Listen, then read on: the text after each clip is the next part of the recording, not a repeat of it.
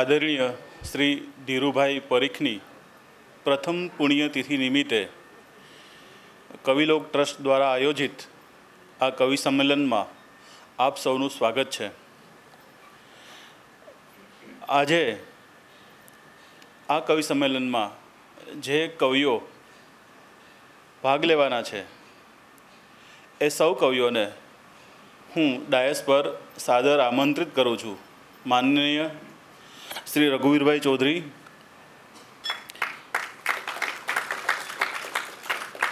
શ્રી યોગેશભાઈ જોશી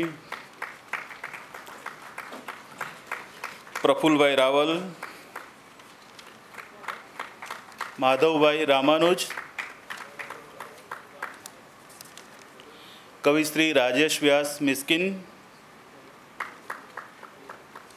કવિશ્રી પ્રવીણ પંડ્યા કવિશ્રી રાજેન્દ્ર પટેલ કવિશ્રી ભાવેશ ભટ્ટ કવિશ્રી મનીષ પાઠક શ્વેત કવિશ્રી હરદ્વાર ગોસ્વામી, જયંત ડાંગોદરાનું પણ સ્વાગત છે. કવિશ્રી પ્રતાપસિંહ ડાભી હાકલ. કવિશ્રી તેજસ દવે જગતના મંચ પર હાજર થાય અને કવિશ્રી કુણાલ શાહ, આપ સૌ કવિ મિત્રોનું સ્વાગ, સ્વાગત કરતા હું આનંદ અનુભવું છું. તો ગરમીમાં પિસ્તાલીસ પિસ્તાલીસ ડિગ્રી તાપ પડતો હોય ત્યારે આપ સૌ અહીંયા ઉપસ્થિત છો. પરિષદ પ્રમુખ શ્રી પ્રકાશભાઈ આપણી વચ્ચે ઉપસ્થિત છે.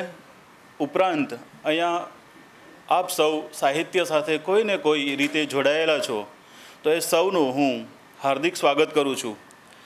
અને ધીરુભાઈની પુણ્યતિથિ નિમિત્તે અહીંયા જે કવિઓ બિરાજિત છે, એ કોઈને કોઈ રીતે એમની સાથે જોડાયેલા છે. કોઈને કોઈ હિસાબે કુમાર અને કવિરોગ સાથે એમનું સાયુજ્ય રહ્યું છે. અને ધીરુભાઈના ભાઈ મહેન્દ્રભાઈ અને એમનું ફેમિલી પણ અહીંયા હાજર છે. તો આપણે એમનું પણ સ્વાગત કરીએ છીએ. આજે ધીરુભાઈને ગયાને એક વર્ષ પૂરું થયું.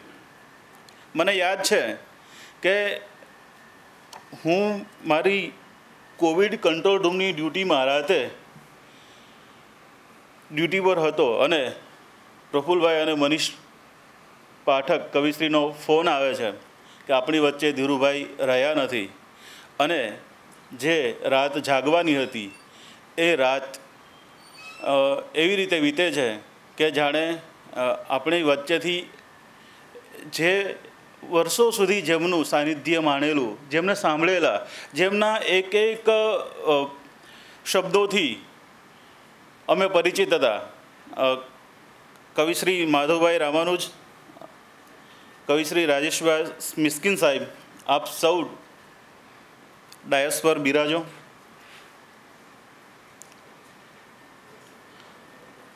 તો એ પ્રફુ પ્રફુલભાઈ અને મનીષભાઈના આ ફોન સાથે એક શૂન્યાવકાશ છવાઈ જાય છે કે હવે પછી અમારી બુથ સભામાં પછીનો જ બુધવાર હશે અને ધીરુભાઈ નહીં હોય. બુથ સભા તો અવિરત ચાલુ રહેતી પ્રવૃત્તિ અને એ પછીના જ બુધવારે અમે મળીએ છીએ અને ધીરુભાઈની એ જે યાદ છે એમાં અમારા બુદ્ધ સભાના દરેક કવિ મિત્રો જાણે વર્ષોથી કોઈની સાથે જોડાયેલા અને એક એક સાથે આમ જાણે કે તરત જ કોઈની સાથેથી કટ થઈ ગયા હોઈએ, એવો ભાવ અનુભવીએ છીએ. અને ધીરુભાઈના એક એક શબ્દ એક એક વાક્ય કોઈક ને કોઈક કોઈને કોઈ રૂપે એ યાદ રાખીને એ દરેક કવિએ પોતાનું અનુસંધાન એમની સાથે જોડી રાખ્યું છે. અને આજે પણ કોઈને કોઈ કવિ એમનો એક એક શબ્દ પકડીને, એમનું એક એક વાક્ય પકડીને યાદ કરતો રહે છે અને એમનામાંથી પ્રેરણા લેતો રહે છે. તો અમે આ ધીરુભાઈને કેવી રીતે યાદ કરીએ? ધીરુભાઈ પોતે જ કહે છે, નિજ અંગમાં, કે ધીરુ પરીખ છે મારું નામ. અક્ષર સાથે પાડું કામ કામ કામથી કાગળ ભરું. જળ વિનાની સરિતા તરું. અક્ષર નામે લખતો ઘણું, પ્રગટે જો કંઈ પોતાપણું. સતત પોતાની સાથે માર્મિક ટકોર કરતા રહેતા, સતત જાગૃત એવા આ કવિ, એવા આ વિદ્વાન અને છેલ્લે ત્રણ વર્ષ સતત શ્રીમદ ભગવદ્ ગીતા એક કવિતા ઉપર જેમણે એટલા વિદ્વત્તા ભર્યા વ્યાખ્યાનો આપ્યા. એ પેલી વિશ્વ કવિતા સાથે પણ એમનું અનુસંધાન જોડી આપે છે. તો આ ધીરુભાઈને યાદ કરીને હું પૂર્વ ભૂમિકા બાંધવા માટે કવિશ્રી અને પરિષદના ઉપપ્રમુખ શ્રી પ્રફુલભાઈ રાવલ ને આપ સૌ ખૂબ સારી રીતે પરિચિત છો. અનેક વિધાઓમાં એમની ગતિ છે.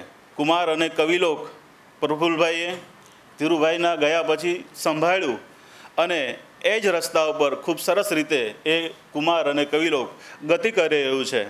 અને એ પ્રફુલભાઈને હું પૂર્વ ભૂમિકા બાંધવા માટે આમંત્રિત કરું છું. કુમાર અને કવિલોકના તંત્રી શ્રી પ્રફુલભાઈ રાવલ પૂર્વ ભૂમિકા બાંધી આપે. કવિશ્રી પ્રફુલભાઈ રાવલ. આજના કવિ સંમેલનના અધ્યક્ષ રઘુવીરભાઈ, જે પરિસરમાં બેઠા છીએ, એ પરિષદના પ્રમુખ પ્રકાશભાઈ અને આપ સૌ મુરબ્બીઓ મિત્રો અને મારા કવિ મિત્રો. વિચાર એવો આવેલો, મહેન્દ્રભાઈ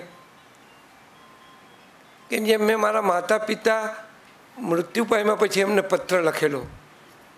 એમ ધીરુભાઈને પણ પત્ર લખું અડધો પત્ર તો લખી રાખ્યો છે. પણ પછી પાછો વિચાર આવ્યો કે આ તો મારી એકલાની વાત થઈ. જેને ધીરુભાઈ સાથે સંબંધ છે, જેને કવિતા સાથે સંબંધ છે, જે લોકો કાવ્ય અને શબ્દને સાથે કાંઈક નાતો ધરાવે છે, એને આમાં જોડવા જોઈએ. તો આ વિચાર મારે કોને કહેવો પહેલવેલો તો પહેલવેલો મેં પ્રસાદભાઈને કીધો. એ અમારા કવિલોક ટ્રસ્ટના ટ્રસ્ટી છે. મેં તો પ્રસાદભાઈ, આવું કંઈક કરવું છે. મને કે કરો.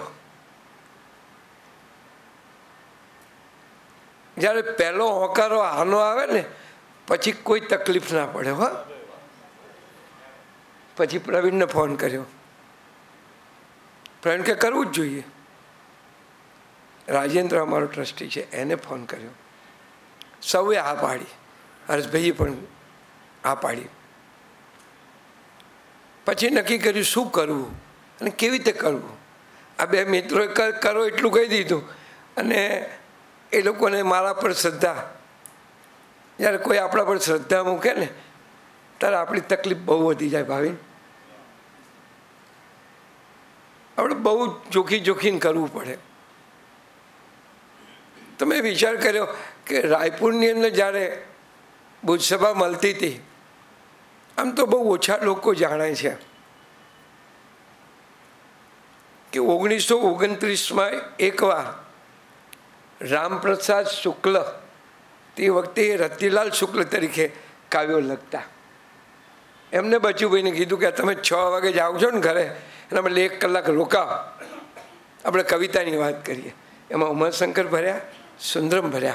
અને બત્રીસમાં બચુભાઈએ આ બુદ્ધ સભા, જેનું કોઈ બંધારણ નથી, જેનો કોઈ પ્રમુખ નથી, જેની કોઈ સભ્ય ફી નથી, એ બુદ્ધસભા આજ સુધી ચાલે છે. ઓગણીસો એંસી સુધી રાયપુરમાં ચાલતી હતી. અશોક ભટ્ટ એક વખત કુમારમાં આવ્યા ત્યારે એમ કહેતા હતા કે કવિઓ જ્યારે અંદર આવે ને, ત્યારે મેં બહાર ડોકાબારીમાંથી ડોકિયા કરતા હતા. ઉમાશંકર આવે છે, સુંદરમ આવે છે, આ આવ્યા છે. એમની પૌત્રીને લઈને આવ્યા કે જો આ મંદિર છે હો. એમની એવી પણ ઈચ્છા હતી કે રાયપુર ચોકમાં જ કવિ સંમેલન કરીએ. પણ પછી એમના અવકાશ ના મળ્યો. તો રામપ્રસાદ શુક્લ, ઉમાશંકર, સુંદરમ અને એ સમયના બીજા મિત્રો. પણ એ એ વખત એ લોકો પછીની જે પેઢી હતી, એમાં રઘુવીરભાઈ લાભશંકર ઠાકર, ચંદ્રકાંત શેઠ, પાઠક સાહેબ અને ધીરુભાઈ અને બીજા મિત્રો. નજર કરતો તો થયું કે અત્યારે ચાર જણ છે. રઘુવીરભાઈ, ચંદ્રકાંત શેઠ પાઠક સાહેબ અને માધવભાઈ. બહુ ઓછાની એ ખબર હશે કે માધવભાઈ અને ધીરુભાઈનો બહુ જ સંબંધ હતો. હું ખૂબ સારી રીતે જાણું છું એ વાત.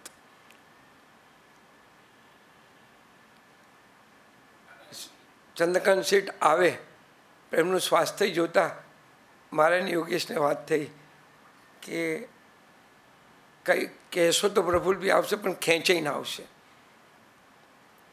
પાઠક સાહેબને મેં કીધું, મને કે ના, મારું નામ ના લખશો. કદાચ હું આવી જાઉં ને, તો સરપ્રાઈઝ આઈટમ તરીકે મને રજૂ કરજો.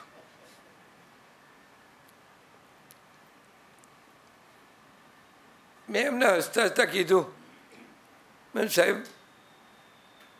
તમને વહેલા એટલા માટે પૂછું છું કે તમે પ્રશ્નોના નાગર છો. અને પ્રશ્ન પૂછો એ તમારી તાસીર છે. મને કે ના. પછી મને એમને કવિનું નામ દીધું. એટલે મેં ના, હું એને નહીં કહું. પછી મારી સાથે દલીલ કરી એમને. પણ મેં તો ના, હું નહીં કહું એમને. મેં તું જેને કહેવાનું છે, એના કારણો છે, જેને આમાં સામેલ નથી કરવાના, એના પણ કારણ છે. અને આ કંઈ છેલ્લો કાર્યક્રમ નથી. આજ પછી હવે ધીરુભાઈને ક્યારે મારે યાદ નથી કરવાની એવું સતત અમારે યાદ કરવા. બરાબર ને પ્રવીણ? હું કરો તો આપ પહેલા તો ધીરુ, રઘુવીરભાઈ અને માધવભાઈ એ બુદ્ધ સભાના રાયપુરના પ્રતિનિધિ તરીકે આપણી સાથે બેઠા છે. ત્યાર પછી જે કવિઓ આવ્યા, એમાં પ્રવીણ, રાજેશ રાજેશ પ્રવીણથી આગળ, હું, રાજેન્દ્ર નથી આવ્યો, યોગેશ, આ અમે એ પેઢીના કવિઓ અને ત્યાર પછી નવી પેઢીના કવિઓ. જયંતભાઈ તો ખૂબ સાહેબની નજીક, મનીષ પણ એટલા નજીક. પ્રતાપસિંહ તો પાલનપુર એમને લઈને આવેલા. અને એટલી બધી દેખરેખ ધીરુભાઈની રાખેલી એમને. તેજસ અને કૃણાલ એ અત્યારે બુધસભા અત્યારે બુધસભા સારી રીતે ચાલે, લગભગ પંદર વીસ કવિઓ આવે છે. અને બહુ સરસ રીતે ચાલે છે. એક જ વાતનો આનંદ છે કે ધીરુભાઈના આ જ અંજલિ છે. એક અંગત વાત કરી અને મારી વાત પૂરી કરું. એ દિવસોમાં મને બ્રેન સ્ટ્રોક આવેલો. પણ પ્રવીણ ખબર પડી હો કે બ્રેન્સ છે. તો મને એમ થયું હવે કશું કરવું નથી. તે હું દક્ષાભાઈ સોફામાં બેઠા હતા. મેં તો હવે દક્ષા કંઈ કરવું નથી. મને કે પહેલાં કાંતનું જીવન ચિત્ર છાપી નાખ.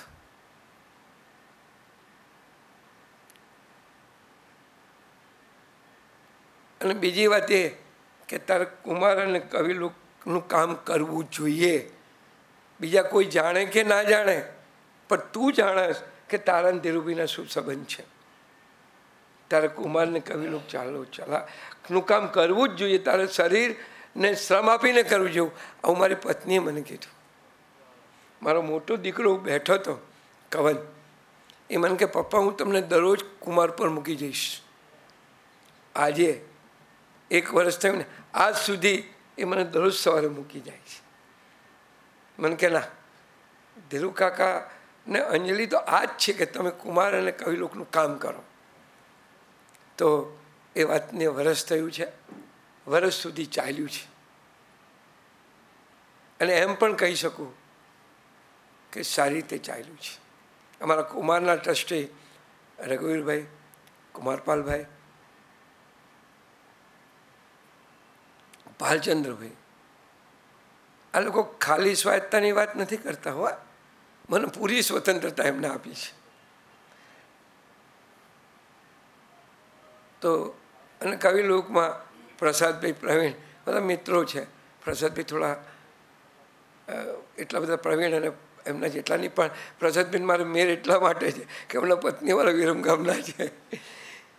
ગમે ત્યાંથી વિરમગામનો નાતો મળી રહેતો હોય છે.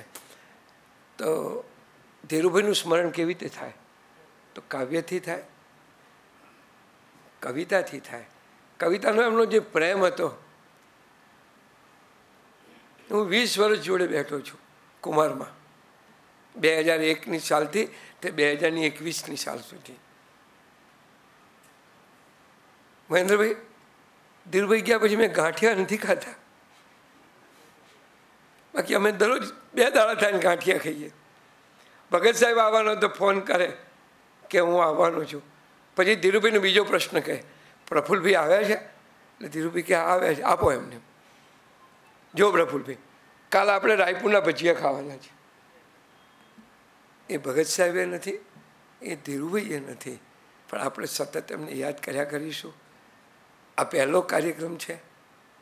હજી પણ ધીરુભાઈને આપણે યાદ કરીશું. અનેક કવિઓ છે, દરેકને આપણે યાદ કરવાના છે. ધીરુભાઈ માટે તો કોઈ પારખું હતું જ નહીં. અહીં નહીં બહારનાય પારકા નહોતા.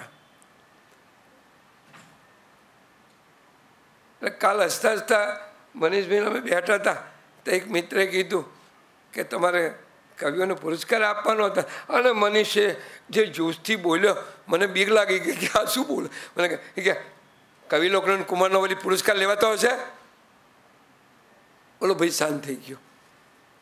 આ કવિલોક અને આ કુમાર તરફનો કવિઓનો, સર્જકોનો જે પ્રેમ છે, એ મોટામાં મોટી ઉપલબ્ધિ છે. આપ સૌ આ તાપમાં આવ્યા છો, સૌને આવકારું છું. આ બધા કવિઓ રઘુવીરભાઈ તો તબિયતની રીતે પણ બહુ સ્વસ્થ છે એવું નથી. અસ્વસ્થ નથી જ, પણ આવ્યા, પ્રકાશભાઈ આવ્યા. એમનો પણ આભાર માનું છું. અનેક બીજા મિત્રો આવ્યા એ સૌનો આભાર માની મારી વાત પૂરી કરું છું.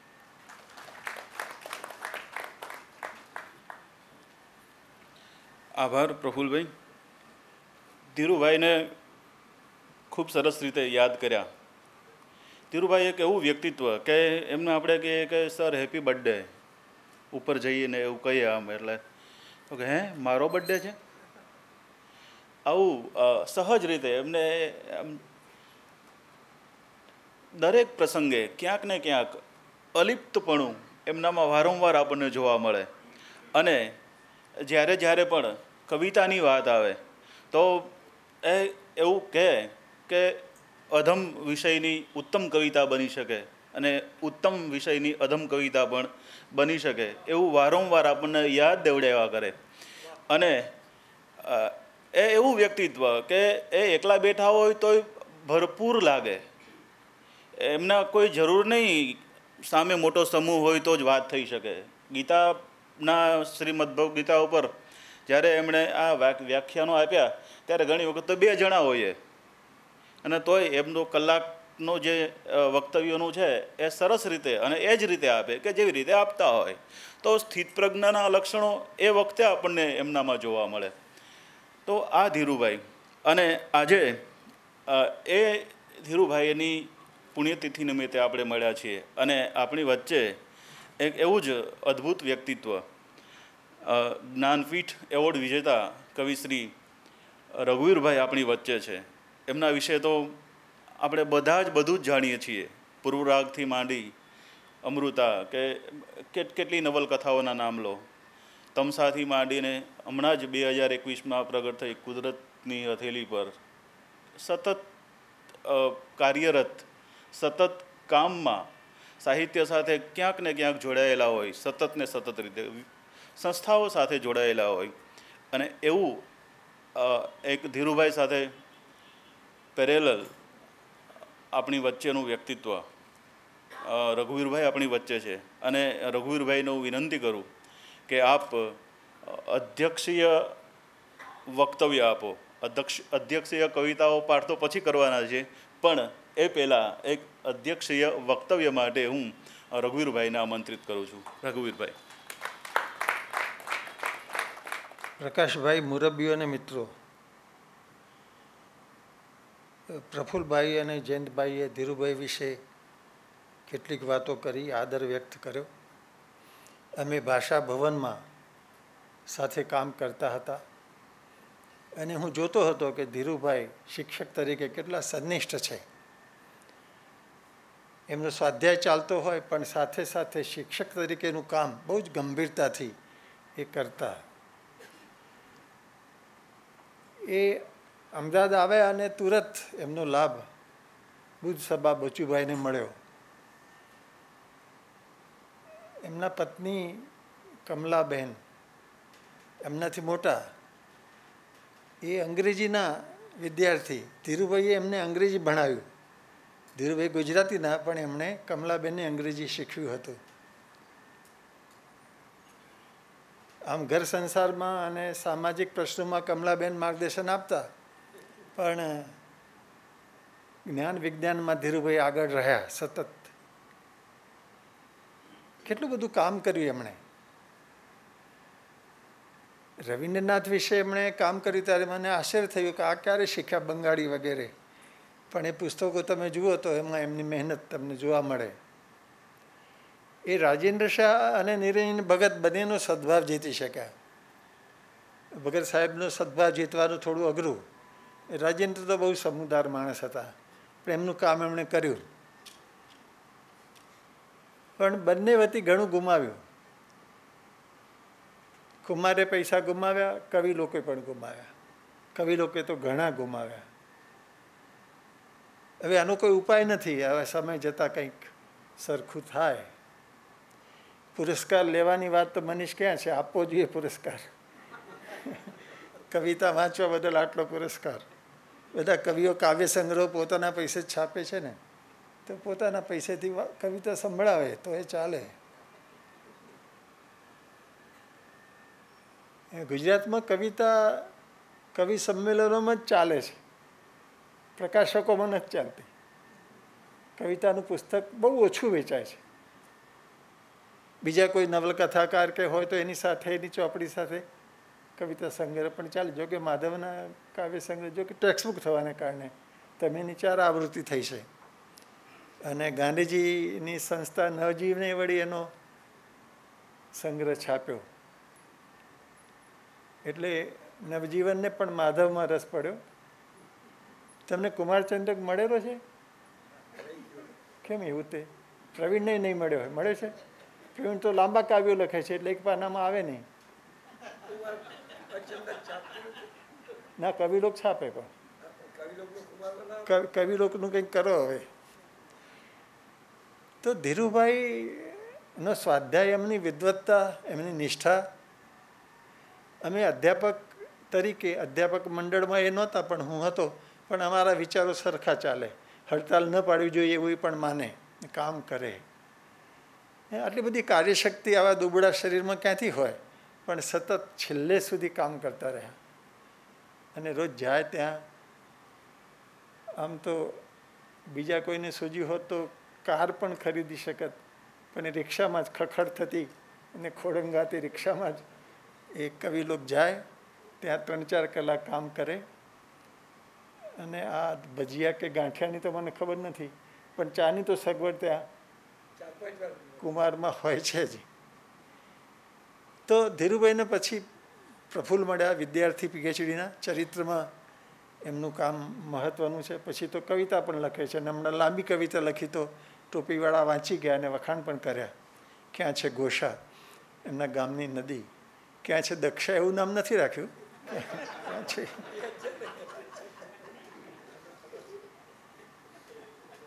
પણ દક્ષાબેને સ્કૂલો ચલાવીને એમને નિશ્ચિંત કર્યા એટલે અમદાવાદમાં એ દોડધામ કરી શકે છે. એ રાજેન્દ્ર કેમ નથી આવ્યા? રિસાયા છે? ઓહ સોરી તો એની તબિયત, અહીં તો કોઈ વૈદરાજ હોય તો જો કે એ તો જાતે જ જાણે છે બધું એટલે કરશે. સવારે જ મને ફોન કર્યો, ચિંતા કરતા હતા કે આ બહારના ફૂટપાથ પર લોકોએ જમાવડો કર્યો છે ને બધું સાચવવા જેવું છે. એટલે એ તો બધું છે જ. તો ધીરુભાઈ એ રીતે વિશિષ્ટ વ્યક્તિ હતા અને બચુભાઈના વારસદાર સાચા અર્થમાં હતા. બચુભાઈ જે કરકસરથી બધું ચલાવતા હતા, જે ઉદારતાથી બધાને સાંભળતા હતા, જે કવિઓ બુદ્ધ શોભા છોડીને જતા રહ્યા હોય એમને પણ પ્રેમથી બચુભાઈ યાદ કરતા હતા. અને લાભશંકર એકવાર વાત કરતા રહે, અત્યંત આદરથી, એ છોડનારા ટીકા કરનારામાં એક પણ બહુ જ આદરથી બચુભાઈ વિશે વાત કરી. એકવાર અમે રાજભવન જતા હતા અને બેઠા અને અમને જોઈને ઉતરી ગયા, તો રિક્ષાવાળાએ પૈસા માગ્યા. બચુભાઈને સમજાવ્યું ને કે હું એક ડગલું આગળ વધ્યો નથી ને પૈસા માગે છે. એમને આઘાત લાગ્યો કે માણસો કેમ આવા હશે? એટલે પોતે જે જીવતા હતા, જે કરકસરથી જે ખ્યાલથી એ ખુરશીમાં ટોપી મૂકે અને જતા પહેરે આપોઆપ ઇસ્ત્રી થઈ જાય ટોપીને. બચુભાઈ, એમનું કુટુંબ, એમના દીકરા બધા કંઈક કમાલ માણસો હતા. એ જ ઓછામાં ઓછી આવકથી એમણે ઘર ચલાવ્યું. અને ઓછામાં ઓછા ખર્ચે કુમારને આટલું સારી રીતે મુદ્રિત કર્યું. એ સમજવા જેવું છે. કોઈ કોઈ મુદ્રણ શાસ્ત્રના વિદ્યાર્થી હોય તો એને અભ્યાસ કરવા જેવું છે.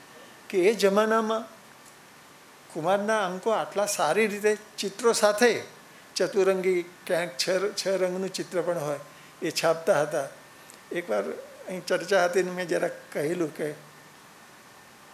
બચુભાઈની કક્ષાએ પ્રકાશન નથી થયું, ધીરુભાઈ જરા આમ અને રંજ થયેલો. તો વાત તો સાચી છે. બચુભાઈ જે સાચવતા હતા, એ ટેકનોલોજીના અભાવે એ જમાનામાં પણ જે કુમારે એમને છાપ્યું છે, એના અંકો અહીં પરિષદમાં હશે. એ તો પ્રફુલભાઈ બધું જાણે છે. તો કુમાર એકવાર વચ્ચે વિરામ કર્યો, પાછું ચાલુ થયું ને અત્યારે પણ મુશ્કેલીઓ વચ્ચે પણ પ્રફુલભાઈ ફાંફા મારીને બધું ખેંચે છે. એમના સહાયક શોધીએ છે પણ મળતા નથી, પણ પ્રફુલભાઈ એ કરી રહ્યા છે અને કરશે જ. કવિલોકને બહુ મોટી ખોટ ડિપોઝિટની ગઈ. એક બેંકમાં પૈસા મૂક્યા હતા, મોટી રકમ. એ બેંક જ ગોથું ખાઈ ગઈ. એટલે એ પૈસા પણ ઘણા ગયા. સાહિત્ય પરિષદ પ્રકાશભાઈ એનું ગૌરવ લઈ શકે કે સાહિત્ય પરિષદ અહીં જે કવિલોકની પ્રવૃત્તિઓ ચાલે છે માટે જે જગ્યા ફાળવી છે એનું ભાડું લેતી નથી. પહેલાં કવિલોકે કહ્યું હતું કે અમે આટલી રકમ આપીશું, પણ એ શક્ય ન રહ્યું. તો પછી કવિલોક કે કવિતા એ પરિષદની જ પ્રવૃત્તિ છે, એટલે કે સાહિત્યની પ્રવૃત્તિ છે. અને પરિષદ શું છે? ગુજરાતી સાહિત્યની પ્રવૃત્તિઓ કરવા માટેની એક સર્વવ્યાપી, સૌની સહિયારી સંસ્થા છે. એટલે કોઈ ટીકા કરે તો પણ આટલી ટીકા સાંભળવાની તૈયારી છે પરિષદની કે કવિલોક માટે આ જગા ફાળવી છે અને ત્યાં વ્યાખ્યાનો પણ થાય અને બુદ્ધ સભા તો સ્વાર્થની વાત છે. બચુભાઈ અદ્ભુત ભાષણ કરેલું. એચકે આર્ટ્સ કોલેજમાં જ્યારે બુદ્ધ સભા કુમારમાંથી ત્યાં લાવ્યા ત્યારે બચુભાઈ દોઢેક કલાક બોલેલા. અને જગદીશભાઈ જે લંડનમાં રહે છે, એમણે એની નોંધ કરેલી. એ વ્યાખ્યાન પછી ક્યાંક આપણે છાપી પણ હતું. તો જે કુમાર અને હવે કુમારની જગા એચકે આર્ટ્સ કોલેજમાં આવી અને પછી પરિષદમાં આવી. તો જે મિત્રો આજે હોય સભામાં એ જરા નોંધી રાખજો. હવે, હવેનું કમિ કવિ સંમેલન એ કવિઓનું જે અત્યારે બુદ્ધ સભામાં આવતા હોય. અને આપણે જો સગવડ કરીએ તો એમને પુરસ્કાર પણ આપીશું. પણ એક મહિના પહેલાં તમારે કહેવાનું કે આપણે પુરસ્કાર બહુ નહીં તો થોડો ફૂલ નહીં તો ફૂલની પાંખડી. પણ નવા કવિઓ જે બુદ્ધ સભામાં આવે છે અને વાતાવરણને જીવંત રાખે છે, આ જગાને પણ ઉપયોગી છે એવું સાબિત કરે છે. એ બધા બુદ્ધ સભાના કવિ મિત્રો, આ આ ભાઈને નહોતો પહેલી વાર મળ્યો તો એ કવિ લોકો, બુદ્ધ સભામાં હવે આવતા થયા છે. બાકીના બધાને હું મળ્યો છું. લગભગ દરેક વિશે કંઈ ને કંઈ લખવાનું, બે શબ્દ લખવાનું પણ બન્યું છે. અને જયંતભાઈ તો ઘણા સારા અભ્યાસી છે. અને આચાર્ય છો ને તમે? શિક્ષણાધિકારી. એ પણ બરાબર છે. અને હાકલ. એ હાકલ નામ કેમ રાખ્યું છે મને ખબર નહીં. પ્રતાપસિંહ જ પૂરતું હતું. નહીં પ્રતાપસિંહમાં જ દરબાર આવી ગયા. પણ મેં એમને હમણાં જ કહ્યું કે તમે ધીરુભાઈને બહુ સાચવ્યા. છેલ્લા વખતમાં એટલી બધી કાળજી લેતા હતા ધીરુભાઈની ખડી પગે. કે દરબારમાં આટલી નમ્રતા હોય એ મોટી વાત છે. અને ગઝલમાં અવિરત કામ કરે છે, સતત. એટલે બધા એકથી એક ચડિયાતા છે. માધવ ઉંમરમાં મોટા હશે. પંચોતેર એમને થઈ ગયા, કોઈ ઉજવ્યા નથી, પણ હા? તમને? અચ્છા. એટલે. પંચોતેર ઉપર ત્રણ બરાબર છે. પણ બધા આટલા સરસ કવિઓ આવ્યા અને મનુષ્ય આયોજનમાં બહુ સારી સિદ્ધિ મેળવી છે. એટલે છેલ્લે તો એને એની હાજરીમાં ઝાડ કપાયા એ કેમ એવું થયું? ખરેખર તો એટલો મજબૂત છે કે પકડીને ફેંકી દેત બહાર બધાને પણ હવે આ દુર્ભાગ્ય છે બધાને. પણ આ બધા મિત્રો પોતપોતાની રીતે વિશિષ્ટ છે. બધા કવિતાના ચાહક છે, પોતાની કવિતા ઉપરાંત બીજાની પણ વાંચે છે. અને મને તો કવિતા વાંચવા કરતાં સાંભળવાનું વધારે ગમે છે. તો તમને બધાને ધીરુભાઈ વતી આજે હું પણ સાંભળીશ. તમને બધાને શુભેચ્છા, ધીરુભાઈને વંદન.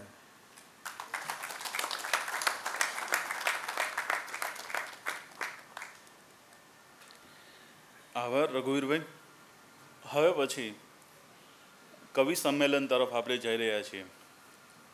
ધીરુભાઈની વાત આવે એટલે એક વાત મને યાદ આવે કે ધીરુભાઈ જે નિર્ણય લે તો અડગ રીતે એ વળગી જ રહે. એમને એમાંથી કોઈ ડગાવી ના શકે. એક વખત પરિષદના કોઈ પ્રોગ્રામ નિમિત્તે એક પ્રસંગને કારણે કોઈ રજૂઆત માટે બુદ્ધસભા ચાલુ હતી ને આવ્યા. અને એવું કહેતા કહેતા વાતમાં એવું કીધું કે અમે તો રે મઠના છીએ હો કે. એટલે ધીરુભાઈએ શું કીધું? કે બરાબર છે, તમે રે મઠના હો, પણ અરે રે ના થવું જોઈએ કે.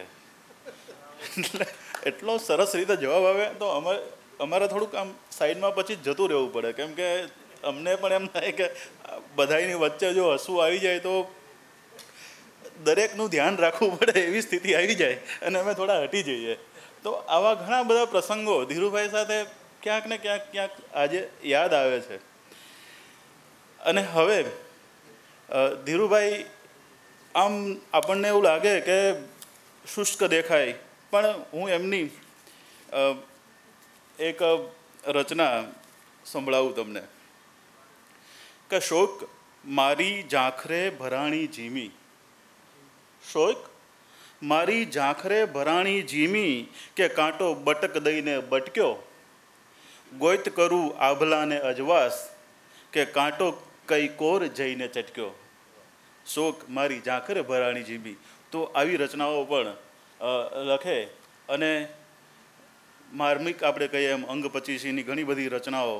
એમાં એ એક હસ્તનું એવું ચેન, કાગળ દેખી પકડે પેન પેન મહીથી દદડે શાહી, એને અક્ષર ગણતો ચાહી, ટીપે એમ સૌ ટોળે વળે, ટીપા એમ સૌ ટોળે વળે અને પછી હસ્તને આખો ગળે.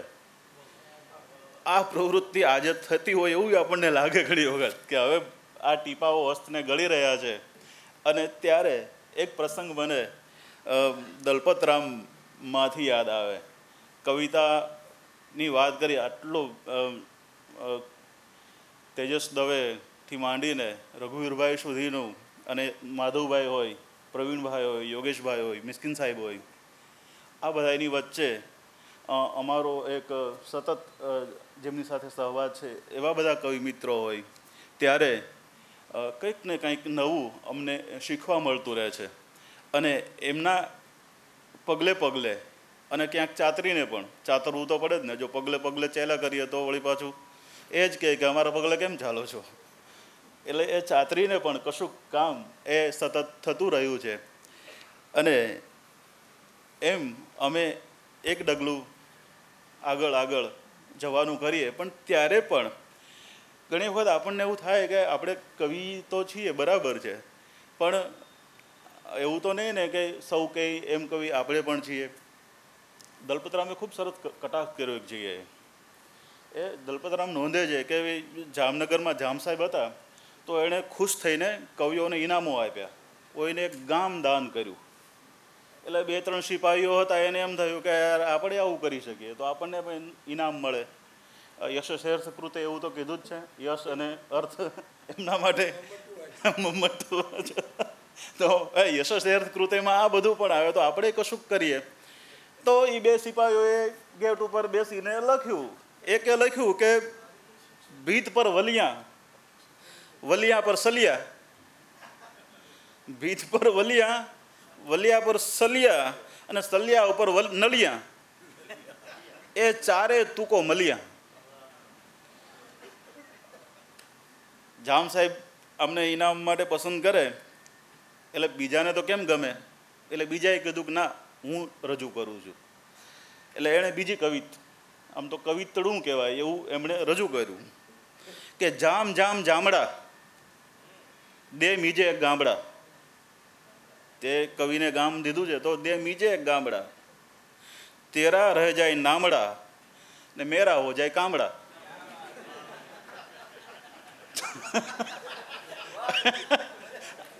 આજે કવિતાનો કંઈક આવો માહોલ પણ જામતો જાય છે કે મેરા હો જાય કામડા.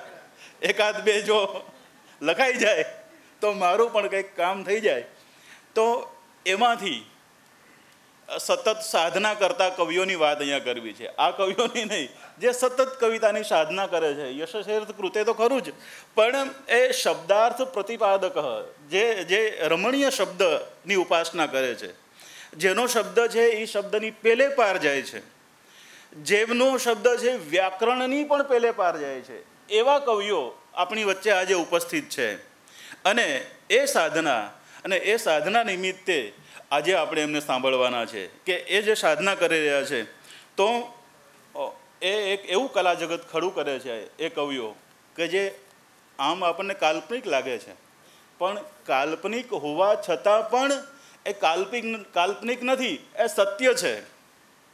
તમે જ્યારે નવલકથા વાંચો છો, ત્યારે એમનું જે પાત્ર છે ને, એ વાસ્તવિક જીવનના પાત્ર કરતાં પણ વધુ જીવંત લાગે છે. તો એ કવિઓ અહીંયા છે કે જે શબ્દને જીવંત બનાવીને એ આપણી સામે રજૂ થવાના છે. તો એમાંથી હું અમારા બુધ સભાના પ્રથમ કવિને રજૂ કરવાનું છું. એ કવિ ગુજરાત સરકારના શ્રમ અધિકારી છે. અને શ્રમ અધિકારી હોવાની સાથે સાથે એ કવિતા સાંપ્રતને લક્ષમાં રાખીને કવિતાઓની રચના કરે છે. એ એટલી ચોટદાર કવિતાઓ, ગઝલો રજૂ કરે કે તમને આજનું જે સાંપ્રત છે સામે ખડું થાય. અને એવા ગઝલકાર એટલે કુણાલ શાહ, હું એમનો એક શેર રજૂ કરું અને પછી એમને કહું કે એ રજૂ થાય. બંડનું પેલું પગથિયું મૌન છે. બંડનું પેલું પગથિયું મૌન છે. ભલ ભલા ઉથલે ગયા, તું કોણ છે? અને એની સામે, એટલું જ સરસ એ બીજી એક પંક્તિ કે એક નાનકડી પરીની આંખ સામે, એક નાનકડી પરીની આંખ સામે વિસ્મયો બ્રહ્માંડના પાણી ભરે છે. તો એવા એક કવિને હું રજૂ કરું છું, કુણાલ શાહ.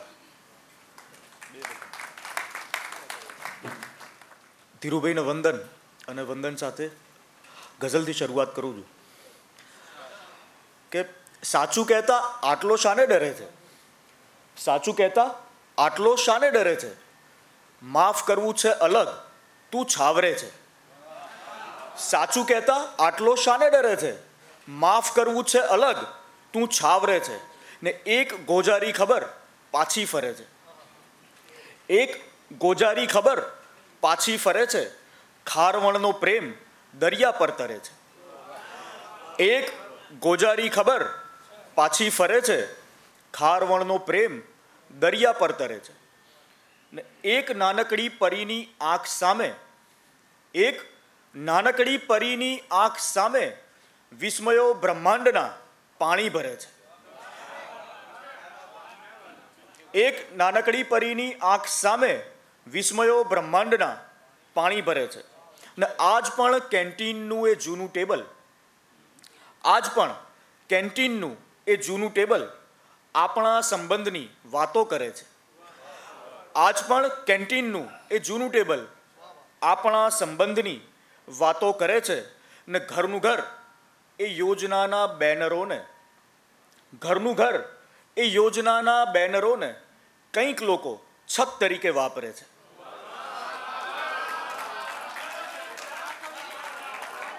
ઘરનું ઘર એ યોજનાના બેનરોને કંઈક લોકો છત તરીકે વાપરે છે.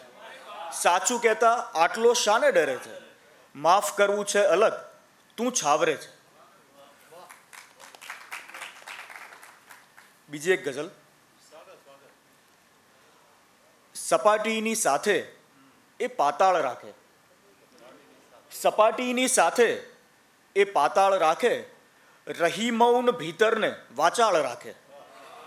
સપાટીની સાથે એ પાતાળ રાખે, રહી મૌન ભીતરને વાચાળ રાખે. સમંદર ખલાસી હલેસા અને હોડી. સમંદર, ખલાસી, હલેસા ને હોડી પરસ્પર અનાયાસ સંભાળ રાખે. સમંદર, ખલાસી, હલેસા ને હોડી પરસ્પર અનાયાસ સંભાળ રાખે ને પ્રકટ જે કરે તે શિકારી બને છે. પ્રકટ જે કરે તે શિકારી બને છે.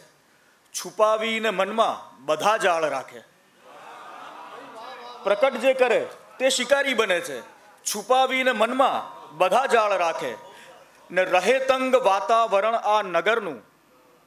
રહે તંગ વાતાવરણ આ નગરનું સતત કાળજી એ રખેવાળ રાખે. રહે તંગ વાતાવરણ આ નગરનું સતત કાળજી એ રખેવાળ રાખે. ને કરામતને આંબી ગઈ છે સહજતા. કરામતને આંબી ગઈ છે સહજતા. પછી ઓલિયો શાની જંજાળ રાખે. કરામતને આંબી ગઈ છે સહજતા.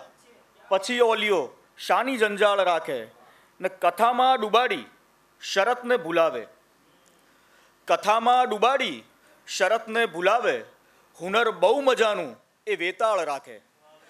કથામાં ડૂબાડી શરતને ભૂલાવે, હુનર બહુ મજાનું એ વેતાળ રાખે, સપાટીની સાથે એ પાતાળ રાખે. રહી મૌન ભીતરને વાચાળ રાખે. ખૂબ સરસ મજાની ગઝલો કુણાલભાઈ આપને સંભળાવી. સાંપ્રત સાથે સતત જોડાયેલા કવિ છે. એક બીજા કવિ કે જે પણ સતત કવિતા સાથે જોડાયેલા છે. અને ઓગળતી જિંદગીના સમ ખાઈને કવિતાઓ લખે છે. અને એમને ભાનુપ્રસાદ પંડ્યા પારિતોષિક પ્રાપ્ત થયું છે. અને જેમનું સ્થાન મેં આજે ગ્રહણ કરી લીધું છે.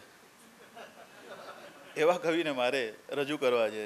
એ ઇવેન્ટ ઓર્ગેનાઇઝર તો છે જ, સાથે એન્કર પણ છે. અને આપ ખૂબ એમને સાંભળો છો વારંવાર, ક્યાંક ને ક્યાંક. એવા તેજસ દવેને મારે રજૂ કરવા છે. આ જગતના મંચ ઉપર હું તેજસ દવેને રજૂ કરવા જઈ રહ્યો છું. ત્યારે હું એમનું એક ગીતનું મૂકડું કે ઝાડ અને પંખીનો નાતો એવો હેત હુફાળો. ઝાડ અને પંખીનો નાતો એવો હેત હુફાળો. પંખી ઉડી જાય આબમાં ઝાડ સાચવે માળો. ઝાડ અને પંખીનો નાતો એવો હેત ઉપાળો એવા હેત હુફાળા કવિ એ તેજસ દવેને હું કવિયાપાઠ માટે આમંત્રિત કરું છું. મંચ પર ઉપસ્થિત તમામ કવિઓને વંદન, ધીરુભાઈની સ્મૃતિને વંદન અને માધવભાઈ અહીંયા હાજર છે. એટલે આજે બંને ગીતો જ વાંચવા છે. ગીત. કે હવા ભરાય, પછી પરપોટા થાય, પછી ફૂટે, તો સહેજ મળે પાણી. કે હવા ભરાય, પછી પરપોટા થાય, પછી ફૂટે, તો સહેજ મળે પાણી. બસ આટલી છે આપણી ઉજાણી. બસ, આટલી છે આપણી ઉજાણી. કે હવા ભરાય, પછી પરપોટા થાય, પછી ફૂટે તો સહેજ મળે પાણી, બસ, આટલી છે આપણી ઉજાણી. ને પહેલો બંધ છે. કે ડગમગતી શ્રદ્ધાના સથવારે બેઠા હતા કે ડગમગતી કે ડગમગતી શ્રદ્ધાના સથવારે બેઠા હતા મનના મુંઝારાના આંગણે. કે ડગમગતી શ્રદ્ધાના સથવારે બેઠા હતા મનના મુંઝારાના આંગણે. ને ઉપરથી ચિતરેલા વૃક્ષોમાં છાંયડાઓ શોધવાની ભૂલ કરી આપણે. કે ડગમગતી શ્રદ્ધાના સથવારે બેઠા હતા, મનના મુંઝારાના આંગણે ને ઉપરથી ચિતરેલા વૃક્ષોમાં છાંયડાઓ શોધવાની ભૂલ કરી આપણે. ને સૂરજ ઉગે ને પછી ડૂબે છે એમ અહીં. કે સૂરજ ઉગે ને પછી ડૂબે છે એમ અહીં. આપણી આજ છે કહાણી. બસ આટલી છે આપણી ઉજાણી. કે હવા ભરાય, પછી પરપોટા થાય, પછી ફૂટે, તો સહેજ મળે પાણી. બસ આટલી છે આપણી ઉજાણી. ને છેલ્લો બંધ છે. કે એક પછી એક એમ સપનાની સળીઓથી ગૂંથ્યા તા મનગમતા માળા. કે એક કે એક પછી એક એમ સપનાની સળીઓથી ગૂંથ્યા તા મનગમતા માળા. અરે, કેટલુંય સાચવ્યું ને તેમ છતાં માળામાં થઈ ગયા કરોળિયાના જાળા બાજુ. કે એક પછી એક, એમ સપનાની સળીઓથી ગૂંથ્યાતા મનગમતા માળા અરે કેટલુંય સાચવ્યું ને તેમ છતાં માળામાં થઈ ગયા કરોળિયાના જાળા ને પછી શું? કે કાયાના ગણવેશ પહેરીને તેમ છતાં, કે કાયાના? કાયાના ગણવેશ પહેરીને તેમ છતાં જીવ્યા છે જિંદગી અજાણી. બસ આટલી છે આપણી ઉજાણી. હવા ભરાય, પછી પરપોટા થાય, પછી ફૂટે, તો સહેજ મળે પાણી. બસ આટલી છે આપણી ઉજાણી. બસ, આટલી છે આપણી ઉજાણી. એક બીજું પણ ગીત જ વાંચવું છે. અને મિસ્કિન સાહેબ આજે આખા ગીત, એટલે એક બીત છેલ્લું. કે થર બની ઉગે કોઈ ઉજ્જડમાં, કોઈ વળી ઝાડ બની છાંયડાઓ દેતું. કે થર કે થર બની ઉગે કોઈ ઉજ્જડમાં, કોઈ વળી ઝાડ બની છાંયડાઓ દેતું. સંગાથે સંગાથે ઉગ્યા હો તેમ છતાં જીવનનો હોય અલગ હેતુ, એમ અહીં ઉગવાનું રહેતું. કે એમ અહીં ઉગવાનું રહેતું. કે થોર બની ઉગે, કોઈ ઉજ્જડમાં કોઈ વળી ઝાડ બની છાંયડાઓ દેતું. અરે સંગાથે સંગાથે ઉગ્યા હો તેમ છતાં, જીવનનો હોય અલગ હેતુ. અરે એમ અહીં ઉગવાનું રહેતું. કે એમ અહીં ઉગવાનું રહેતું ને પહેલો બંધ છે. કે પર્વતને પથ્થરનું, દરિયાને પાણીના જથ્થાનું અભિમાન જાગે.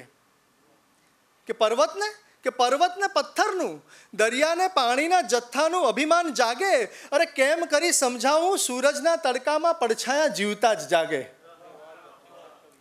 કે પર્વતને પથ્થરનું, દરિયાને પાણીના જથ્થાનું અભિમાન જાગે, અરે કેમ કરી સમજાવું, સૂરજના તડકામાં પડછાયા જીવતા જ લાગે.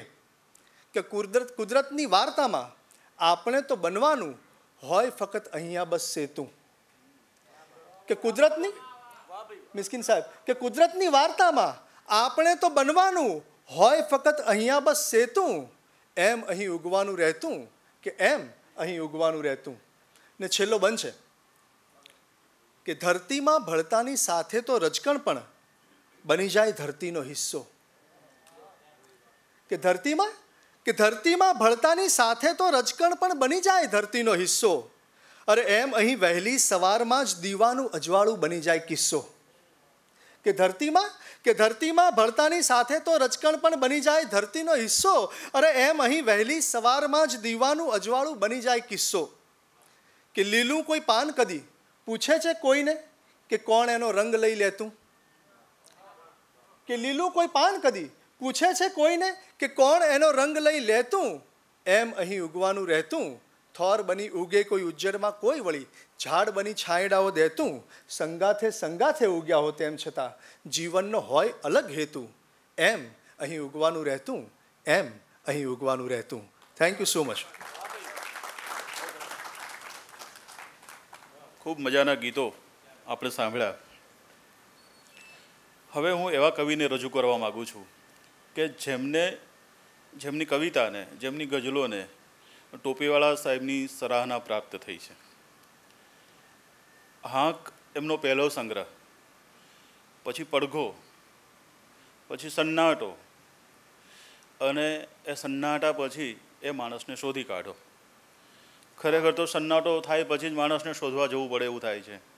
તો એ એ ક્રમમાં એ કવિ ચાલ્યા છે અને જેમનામાં એક ભાલની મીઠાશ છે, તળપદ ભાષાની એમની જે બાની છે, એ એટલી સરસ રીતે એ મૂકી આપે છે એમની ગઝલોમાં અને એમના ગીતોમાં પણ.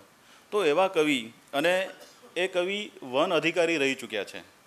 જંગલ સાથે એમનો ખૂબ નજીકનો નાતો, જમીન સાથે એમનો ખૂબ નજીકનો નાતો, એવા કવિને હું રજૂ કરવા જઈ રહ્યો છું અને એમનું એક ખૂબ સરસ મજાનો શેર કે હોય સવારે એવો સાંજે એ માણસને શોધી કાઢો. હોય સવારે એવો સાંજે એ માણસને શોધી કાઢો.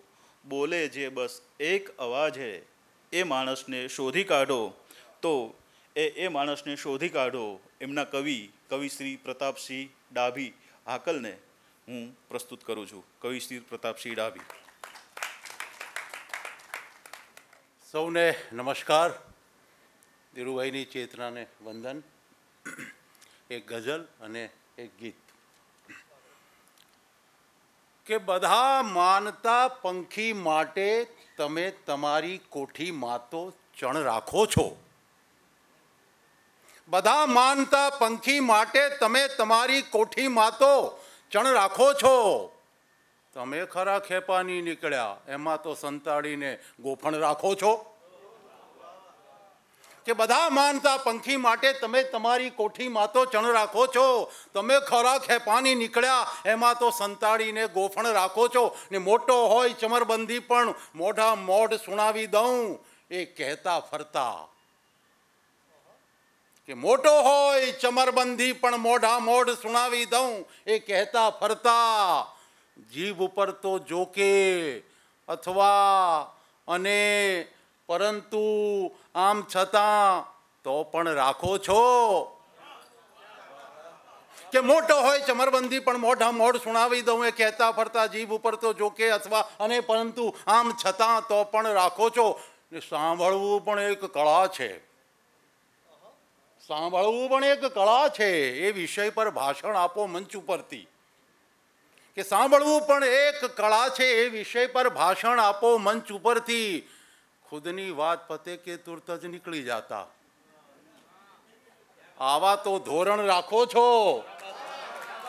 કે કે સાંભળવું પણ એક કળા છે એ વિષય પર ભાષણ આપો. મંચ ઉપરથી ખુદની વાત પતે કે તુરત જ નીકળી જાતા. આવા તો ધોરણ રાખો છો.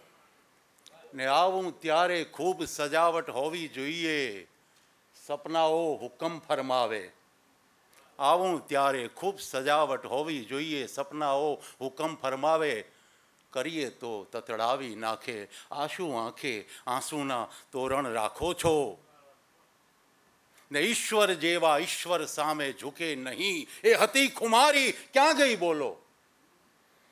કે ઈશ્વર જેવા ઈશ્વર સામે ઝૂકે નહીં, એ હતી ખુમારી, ક્યાં ગઈ બોલો? તાળ સમી ટટ્ટાર હતી છાતી, ને આંસુ વળી ગયા, ગોઠણ રાખો છો. કે તાળ સમી ટટાર હતી છાતીને આંસુ, વળી ગયા, ગોઠણ રાખો છો. ને દી ઉગે ને નિરણ પેટે. મિસ્કિન સાહેબ નિરણ. દી ઉગે ને નિરણ પેટે, આંસુ માગે, લોહી માગે, માથું માગે. દી ઉગે ને નિરણ પેટે આંસુ માગે, લોહી માગે, માથું માગે, જરા કમથા સુખને ખાતર, ઈચ્છાઓના કેટ કેટલા ધણ રાખો છો? જરા કમથા સુખને ખાતર, ઈચ્છાઓના કેટ કેટલા ધણ રાખો છો? બધા માણતા પંખી માટે તમે તમારી કોઠીમાં તો ચણ રાખો છો. તમે ખરા ખેપાની નીકળ્યા, એમાં તો સંતાડીને ગોફણ રાખો છો.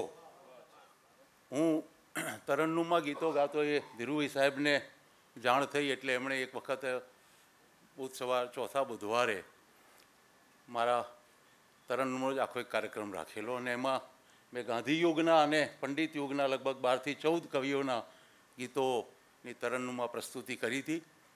આજે ધીરુભાઈની ચેતનાને વંદન કરતાં મારું એક ગીત તરન્નુમાં રજૂ કરું છું. અને માધવભાઈ છે, મિસ્કિન સાહેબ છે, મારી ભાલની પૃષ્ઠભૂમિનું આ ગીત છે, ખારનું. આખી જે જયંતભાઈએ પણ કહ્યું કે મારી કવિતામાં ભાલની જે બાની આવે છે, મિસ્કિન સાહેબે પણ કહ્યું છે કે ઢૈડી ઢૈડી થાક્યો રે જીવો પટલ, ખારમો જમનો. ઢૈડી ઢૈડી થાક્યો રે જીવો પટલ, ખારમો જમનો. મારા ભાલમાં પટેલને પટેલ, પટલ કે. ક્યાં શેઢા લગ લાવ્યો રે? જીવો પટલ ખારમો ચમનો ઢૈડી ઢૈડી થાક્યો રે જીવો પટલ ખારમો ચમનો હો મી દીધું જીવતર આખું ખાર ગાળવા ખેતરમાં હો મી દીધું જીવતર આખું ખાર ગાળવા ખેતરમાં. એક કણના હેઠે ઉતરો શ્રાવણમાં કે ચૈતરમાં.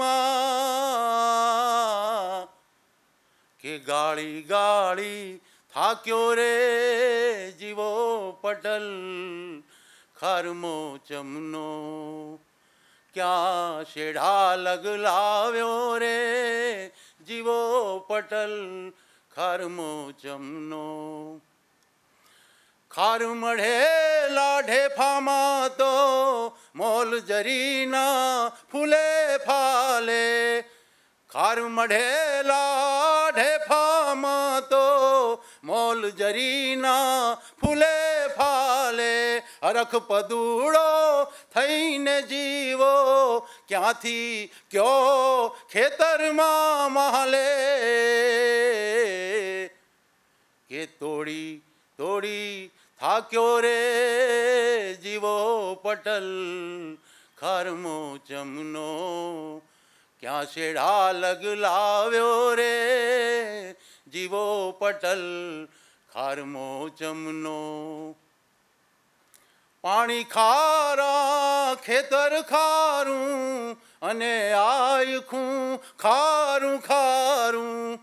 પાણી ખારા, ખેતર ખારું, અને આયખું ખારું ખારું. હાલી નીકળો, અહીંથી જીવા. સાંજ પડીને બજુ નગારું.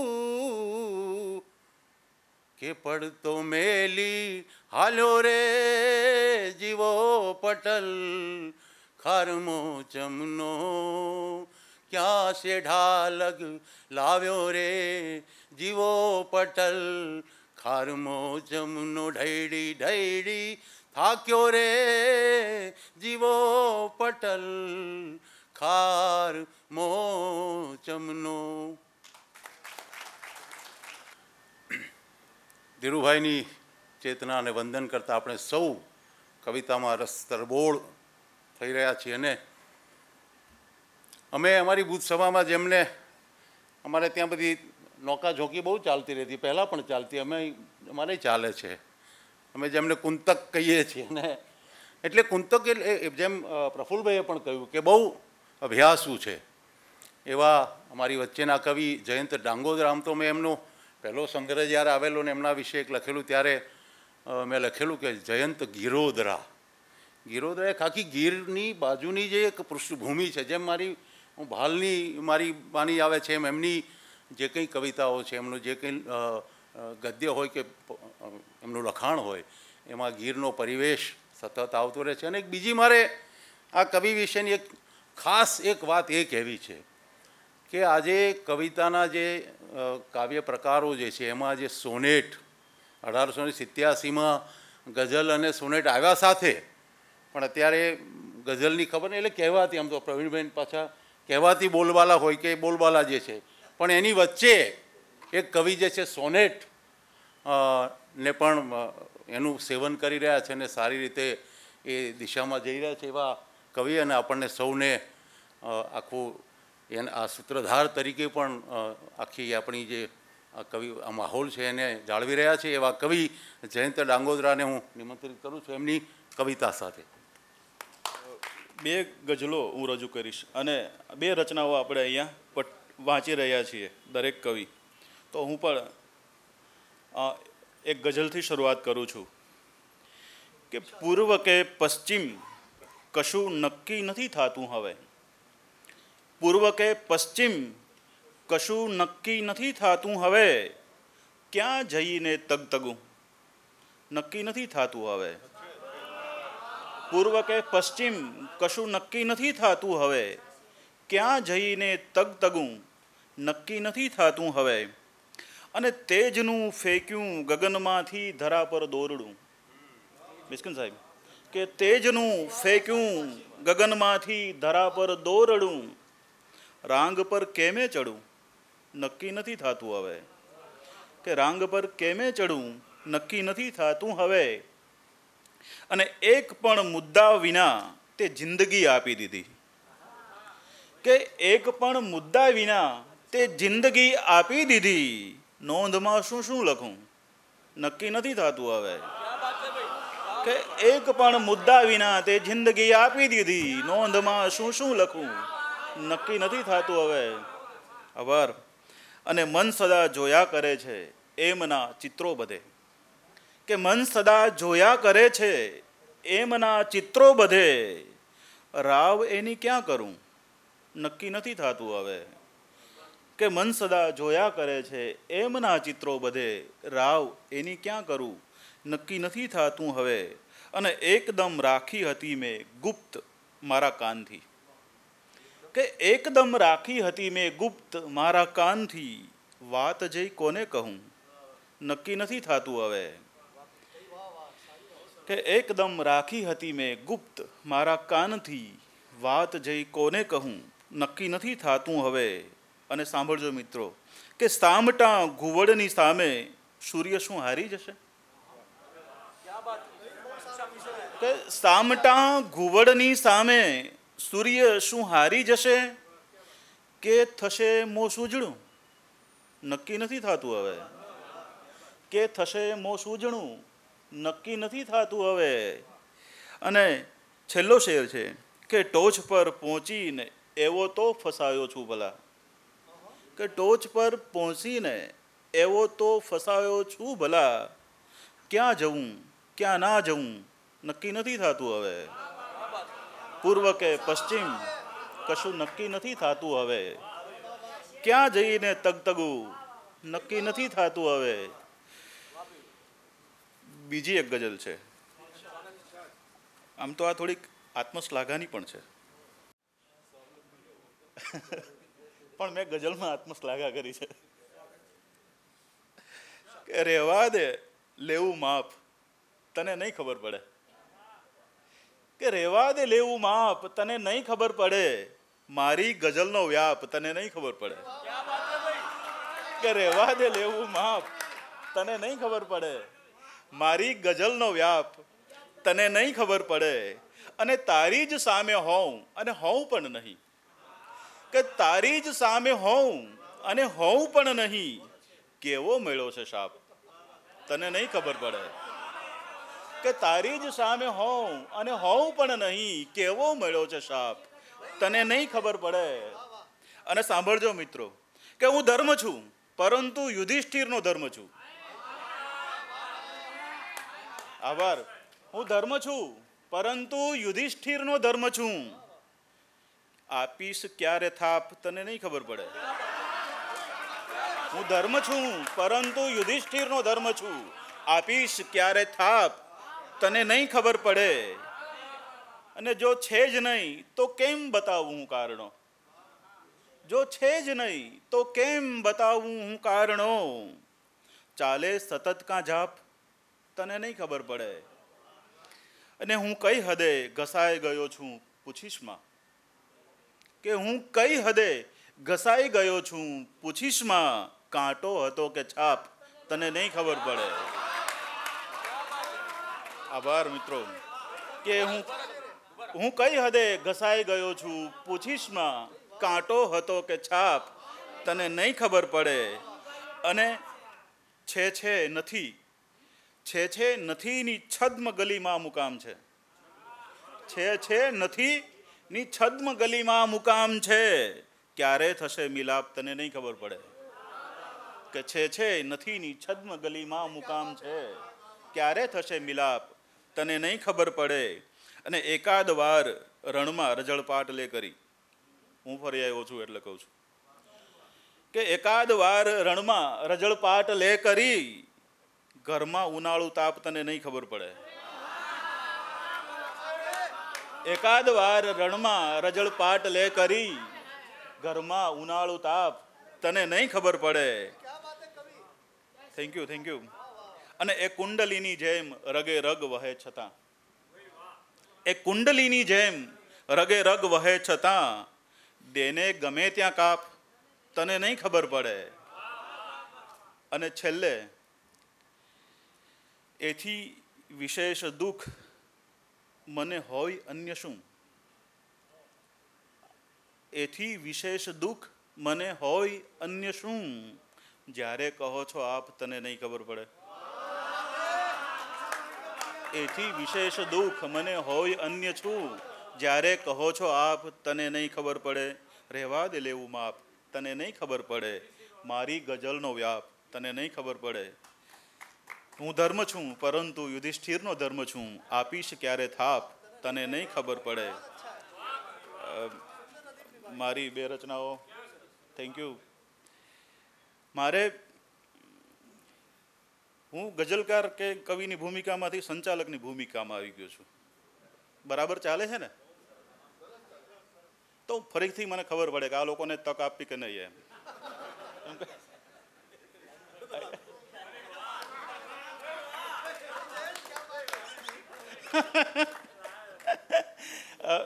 મારે વચ્ચેથી ક્રમ તોડીને માધવભાઈને રજૂ કરવાના છે.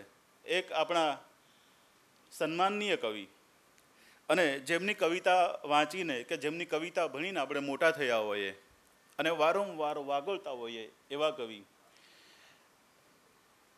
કાવ્યો તમે એમનો પ્રથમ સંગ્રહ અને પછી તો બીજા ચાર સંગ્રહો સાથે સૂર્યપુરુષ જેવી નોવેલ પણ આપી, પિંજરની આરપાર જેવી નોવેલ પણ અને કિડની થિયર સાથે સંકળાયેલા. અને એ સિવાય એટલી બધી સંસ્થાઓ કે જે હા, યુગાંતર હમણાં છેલ્લે એ જે આવી. અને એ એ તો એમનો કવિતાનો વિશેષ છે. પણ એમની જે સમાજ પ્રત્યેની જે પ્રતિબદ્ધતા છે, એ અનેક પ્રકારે પાંગરી છે, વિકસી છે.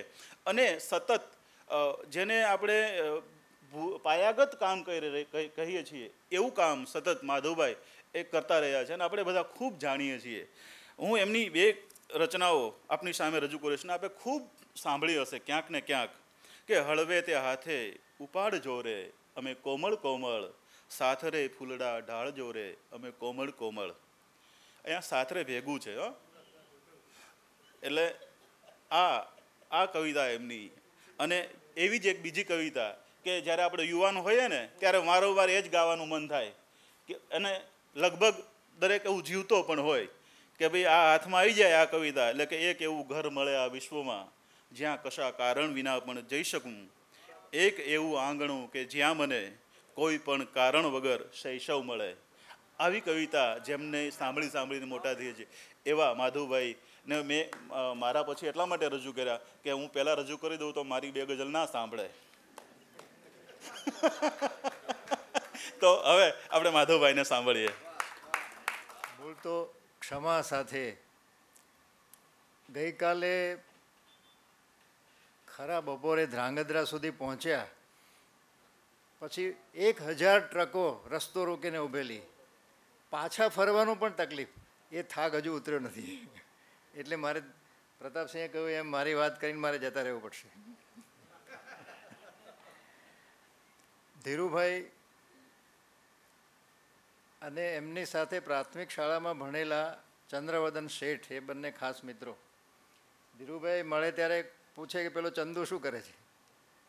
અને ચંદ્રવદન મળે ત્યારે કે ધીરુ શું કરે છે?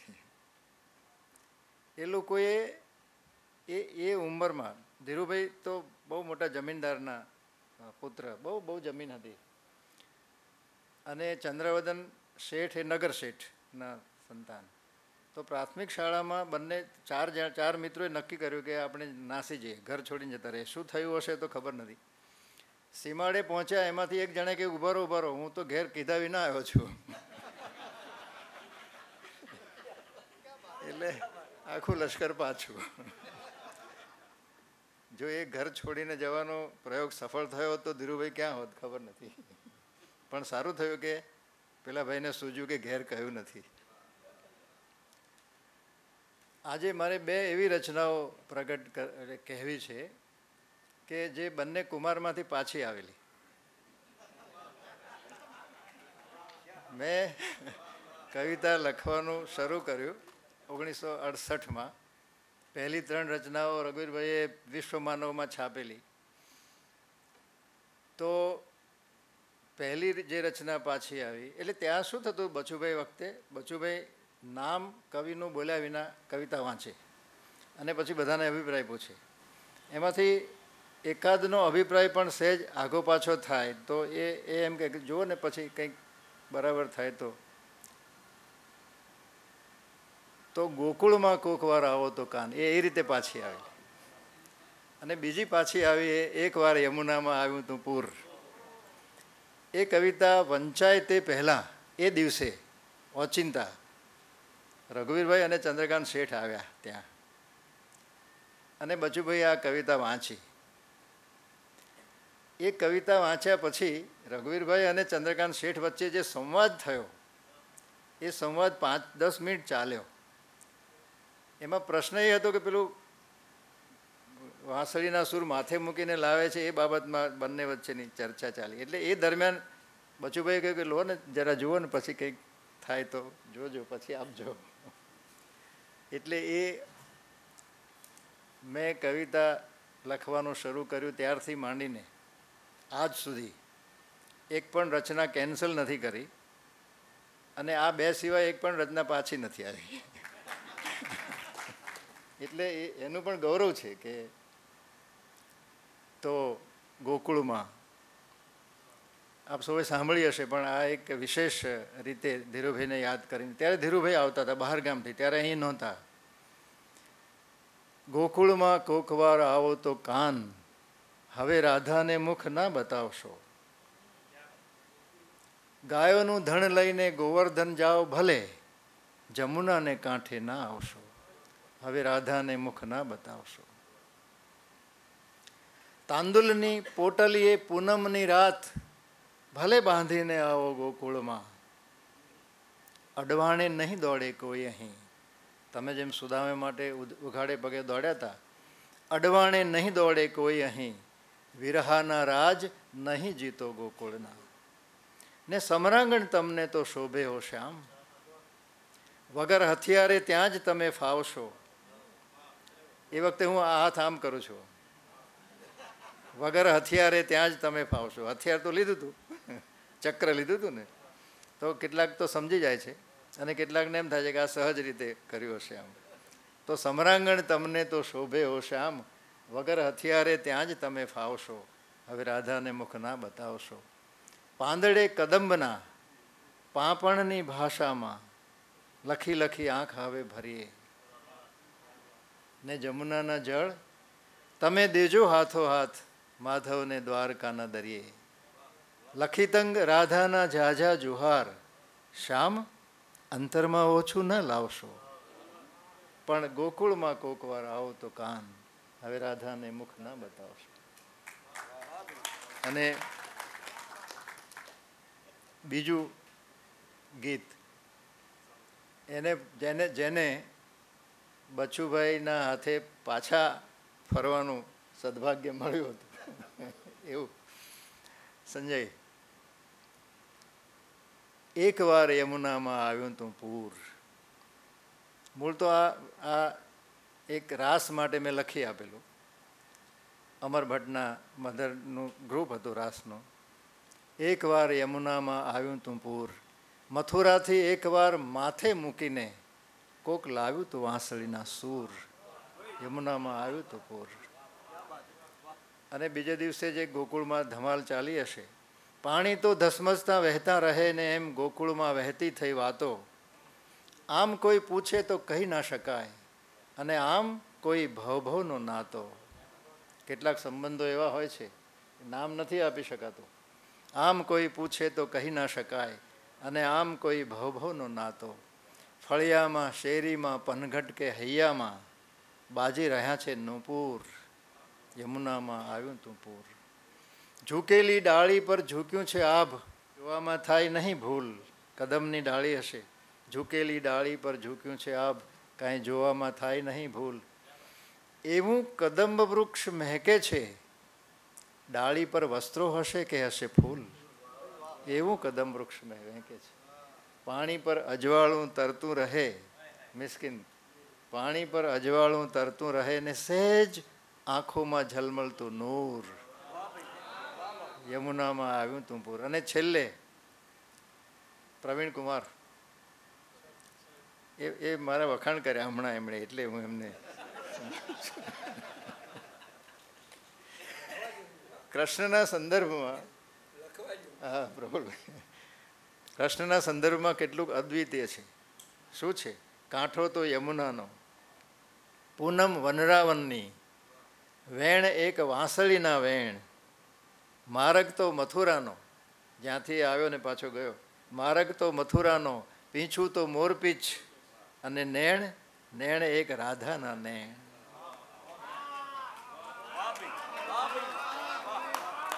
એ એ આંખોએ કૃષ્ણને જોયો હશે. કેવી રીતે જોયો હશે? નેણ એક રાધાના નેણ. પણ એવા તે કેવાઓ કહેણ તમે આવ્યા કે લઈ ચાલ્યા દૂર દૂર દૂર. હવે તો માત્ર વાત જ રહી ગઈ કે એકવાર યમુનામાં આવ્યું તું પૂર ને મથુરાથી એકવાર માથે મૂકીને કોક લાવ્યું તું વાંસળીના સૂર.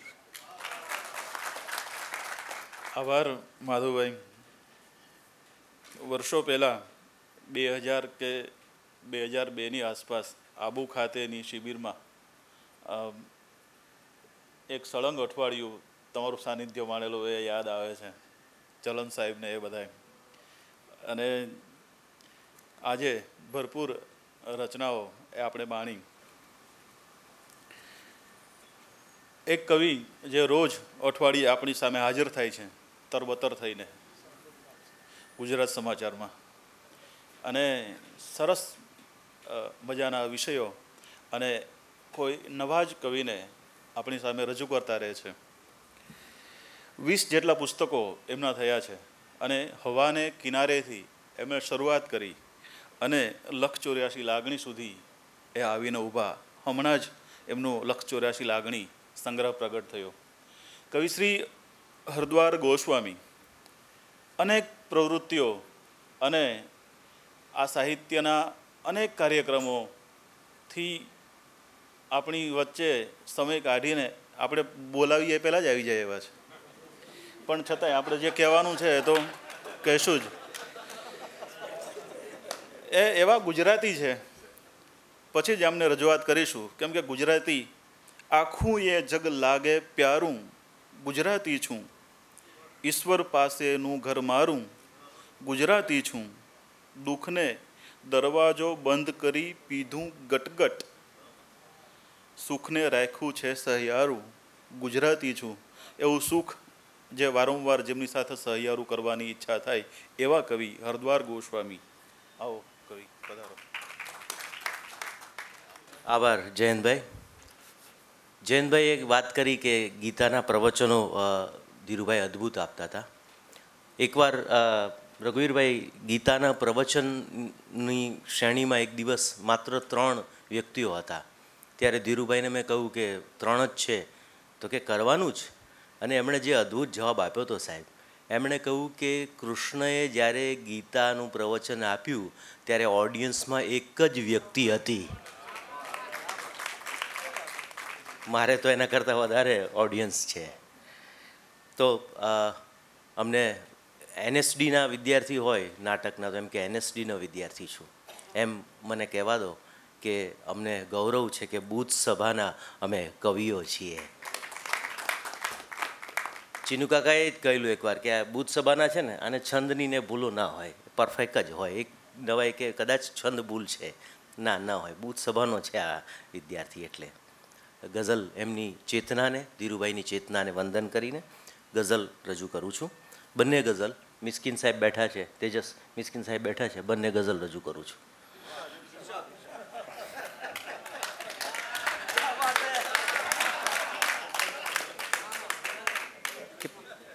પૂછ નહીં કે શું ખૂટે છે?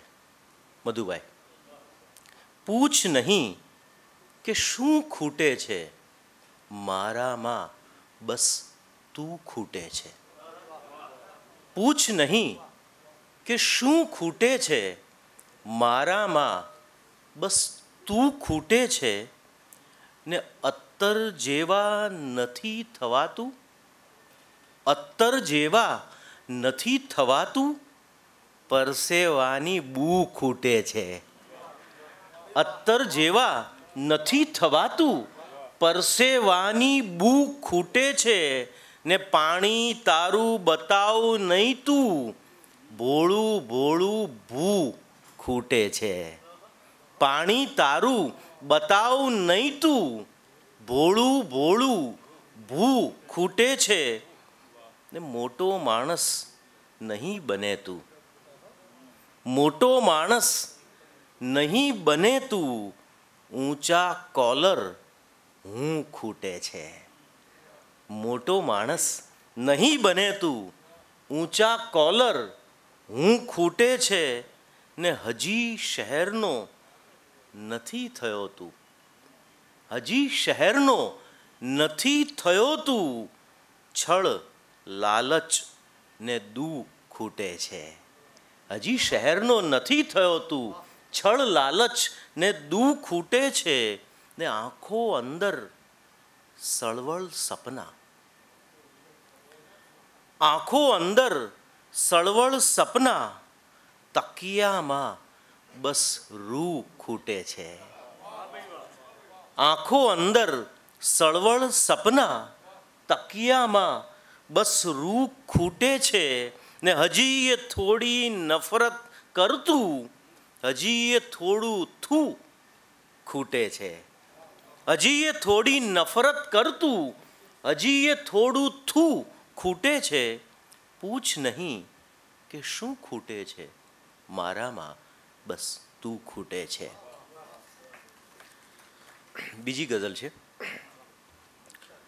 કે ઢોલ, નગારા, ત્રાસા વચ્ચે. ઢોલ, નગારા, ત્રાસા વચ્ચે. તહેવારો છે, ખાસા વચ્ચે. ઢોલ, નગારા, ત્રાસા વચ્ચે. તહેવારો છે, ખાસા વચ્ચે. કોઈનું મંગલ કરવામાં કોઈનું મંગલ કરવામાં આવે છે ક્યાં નાસા વચ્ચે? કોઈનું મંગલ કરવામાં, કોઈનું મંગલ કરવામાં આવે છે ક્યાં નાસા વચ્ચે ને કદી કોઈનો પક્ષ ન લેતો? કદી કોઈનો પક્ષ ન લેતો? વાત અલગ જો માસા વચ્ચે કદી કોઈનો પક્ષ ન લેતો, વાત અલગ. જો માસા વચ્ચે ને હવે કોઈને મળવાનું ક્યાં? હવે કોઈને મળવાનું ક્યાં? સંબંધોના સાસા વચ્ચે. હવે કોઈને મળવાનું ક્યાં? સંબંધોના સાસા વચ્ચે ને બુક સ્ટોલમાં બેસાડ્યો છે. બુક સ્ટોલમાં બેસાડ્યો છે. દરિયો મૂક્યો પ્યાસા વચ્ચે. તાળીઓ એકવાર. થેન્ક યુ બુક સ્ટોલમાં બેસાડ્યો છે. દરિયો મૂક્યો પ્યાસા વચ્ચે ને રોજ ભજન કીર્તન કરશે તો. રોજ ભજન કીર્તન કરશે તો, રોજ ભજન કીર્તન કરશે તો, એક દિવસ બીપાસા વચ્ચે. ને છેલ્લો શેર, કે સૂરજનો જો હાથ લથડ્યો, સૂરજનો જો હાથ લથડ્યો, કિરણો આવ્યા ત્રાસા વચ્ચે.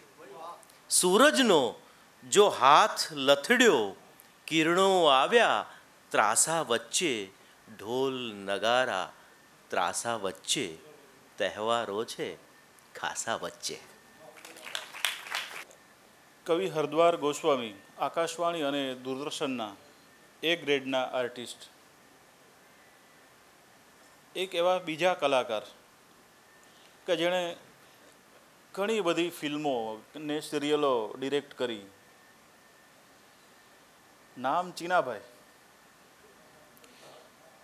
પણ જો એમ આપણે કહીએ કે ચીનાભાઈ કવિતા પાઠ માટે આવે, તો તમને પણ નવાઈ લાગે? એટલે જેમને ના લાગે, એમને ના લાગે. પણ બાકી સાહિત્ય સાથે જોડાયેલા હોય, એમને નવાઈ લાગે કે આ ચીનાભાઈ ક્યાંથી આવ્યા? અને એ ચીનાભાઈ જો બુધવારે ના આવે, તો અમને ચિંતા થાય કે ચા નાસ્તો કોણ કરાવશે? વર્ષોથી, જ્યારથી જોઉં છું, ત્યારથી ચા પીવડાવે, નાસ્તો કરાવડાવે, ધીરુભાઈને મૂકવા જાય, લેવા લેવા લઈને આવે પણ ખરા. અને પછી એ જે રસ્તામાં ધીરુભાઈ અને એમની વચ્ચે શું શું થાય, એ કહેવાય એવું હોય તો કે, બાકી ના કે મિત્રો હોય તો પણ ના કે એટલો અમારો સંબંધ. પણ અમને થોડુંક ખાનગીમાં કહે. પણ અમે પાછું પ્રગટે ન કરીએ.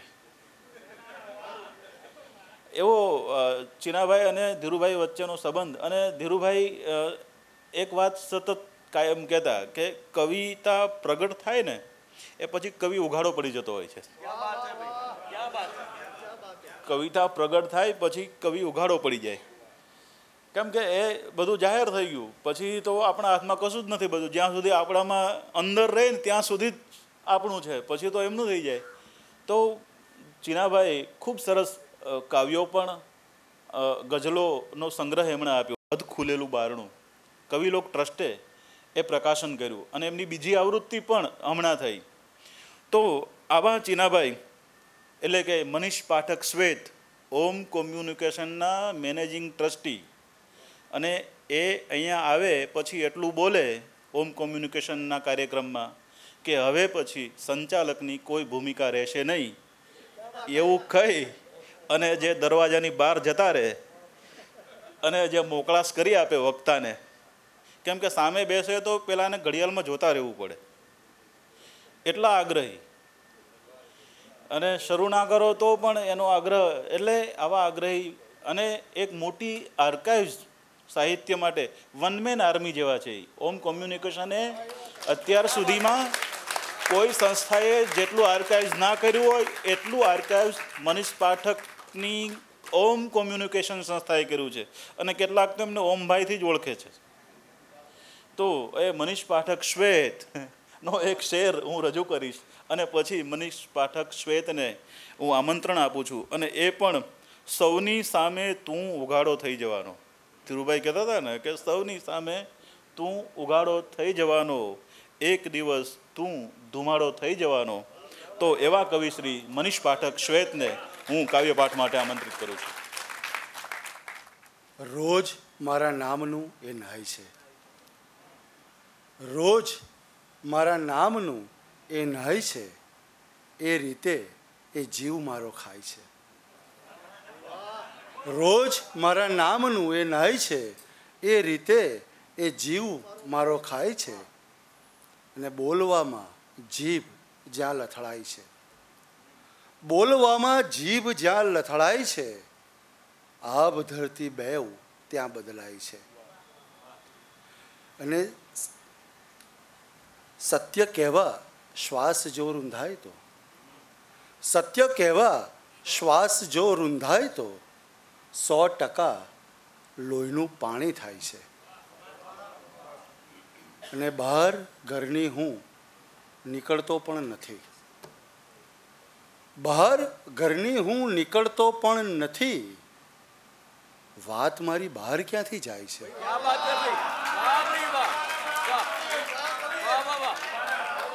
બહાર ઘરની હું નીકળતો પણ નથી.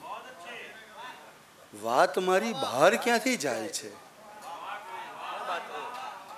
અને હું મને મળતો રહું છું એટલે. હું મને મળતો રહું છું એટલે સાધુ સંતો મારા પર અકળાય છે. હું મને મળતો રહું છું એટલે સાધુ સંતો મારા પર અકળાય છે. રોજ મારા નામનું એ નાય છે. એ રીતે એ જીવ મારો ખાય છે. ગાલને પંપાડનારો સૌથી પહેલો તું નથી. ગાલને પંપાડનારો સૌથી પહેલો તું નથી, ને તમાચો મારનારો. સૌથી પહેલો તું નથી. ગાલને પંપાડનારો સૌથી પહેલો તું નથી, ને તમાચો મારનારો. સૌથી પહેલો તું નથી, ને ગામ આખામાં પતાસા વહેંચવાનું બંધ કર. ગામ આખામાં પતાસા વહેંચવાનું બંધ કર. ઢાળ ઉપર દોડનારો સૌથી પહેલો તું નથી. ને તારી લૂલી જીભને બે હાથથી ખેંચી લઉં. તારી લૂલી જીભને બે હાથથી ખેંચી લઉં. સત્ય કાયમ બોલનારો સૌથી પહેલો તું નથી. ને આમ કરજો, આમ ના કરતા અમારું માનજો. આમ કરજો, આમ ના કરતા અમારું માનજો. આ શિખામણ આપનારો. સૌથી પહેલો તું નથી. ને ખૂબ શાંતિનો અનુભવ થાય છે, એની ના નહીં. ખૂબ શાંતિનો અનુભવ થાય છે, એની ના નહીં. શહેરને સળગાવનારો. સૌથી પહેલો તું નથી. ને ગાલને પંપાડનારો સૌથી પહેલો તું નથી. ને તમાચો મારનારો સૌથી પહેલો તું નથી.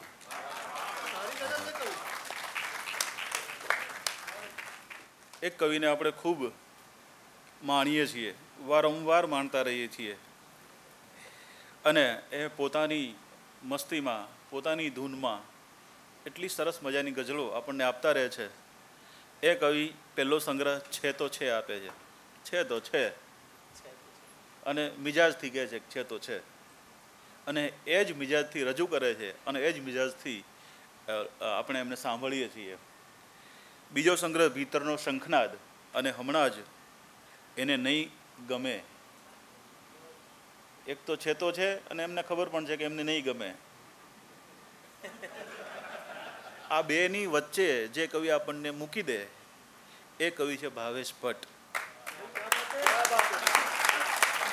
એમની પાસે પરિચય માગો તો એ તમને એક જ વાક્યનો પરિચય આપે. અને માત્ર ગઝલથી જેમનો પરિચય આપણને પ્રાપ્ત થાય એવા કવિ છે ભાવેશ ભટ્ટ. હું બચાવું છું આંખ તડકાથી. એ કહે છે કે હું બચાવું છું આંખ તડકાથી. ધ્યાનથી જો, આ કંઈ સલામ નથી. એ કવિ ભાવેશ થોડા દુહા રજૂ કરું છું. બે રચના થાય એટલા બોલીશ. કે પીંછામાં વીંટળાઈને માથે સ્પર્શે આભ. પીંછામાં વીંટળાઈને માથે સ્પર્શે આભ. થાતો કોની ભૂલથી આવો બમણો લાભ? ને એને દેવો હોય છે સાચુકલો આરામ. એને દેવો હોય છે સાચુકલો આરામ, તેથી ગમતા લોકને રાખે છે ગુમનામ.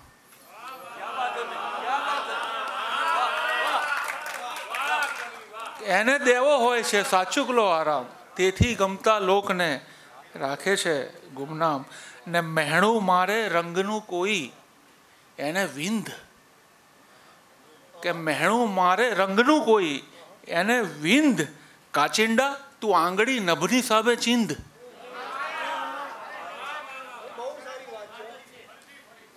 કે મહેણું મારે રંગનું કોઈ એને વિંધ. કાચિંડા, તું આંગળી નભની સામે ચીંધ. ને કઠિયારો તાકાતનું એમ કરાવે ભાન. કઠિયારો તાકાતનું એમ કરાવે ભાન. ડાળી જેના તૂટતી એના તોડે પાન.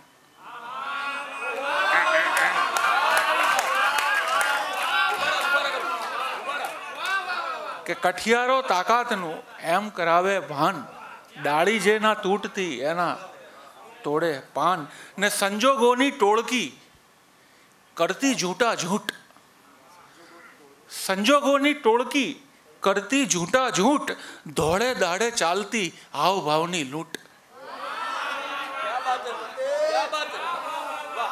કે સંજોગોની ટોળકી કરતી ઝૂંટા ઝૂંટ ધોળે દાડે ચાલતી હાવ ભાવની લૂંટ ને લિંગ પરિવર્તન કરે જ્યારે કોઈ વાક્ય. કે લિંગ પરિવર્તન કરે જ્યારે કોઈ વાક્ય થાય રૂપાંતર પંક્તિમાં, સેથી પૂરે કાવ્ય. ને ખાલી મુઠ્ઠી ખોલતા તેથી તો ગભરાય. ખાલી મુઠ્ઠી ખોલતા તેથી તો ગભરાય. ક્યાંક બને કે ટેરવા ફરસ ઉપર વેરાય. ને દેખીને વાંધો પડ્યો. સૂતો છે દરવાન. દરવાન સૂતો એ ગમે નહીં કોઈને. કે દેખીને વાંધો પડ્યો, સૂતો છે દરવાન, જાણ પછીથી થઈ કે છે એનું ખુદનું મકાન.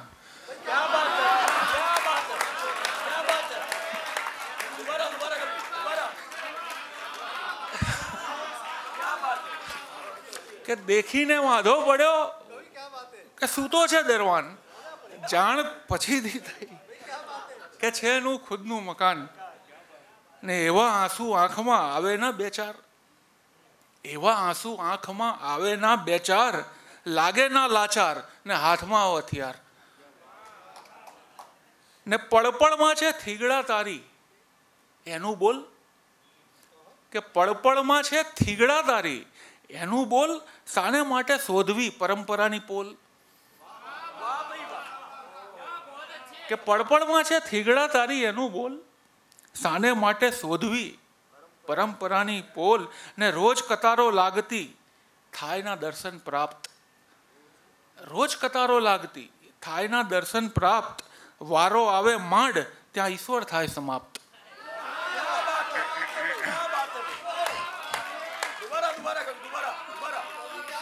કે રોજ કતારો લાગતી થાયના દર્શન પ્રાપ્ત વારો આવે માંડ ત્યાં. ઈશ્વર થાય. સમાપ્ત. ને કોઈ કુમળા સત્યનું માથું ક્યાંક કપાય. કોઈ કુમળા સત્યનું માથું ક્યાંક કપાય ને કઈ કેટલી આંખમાં સ્મારક એના સ્થપાય.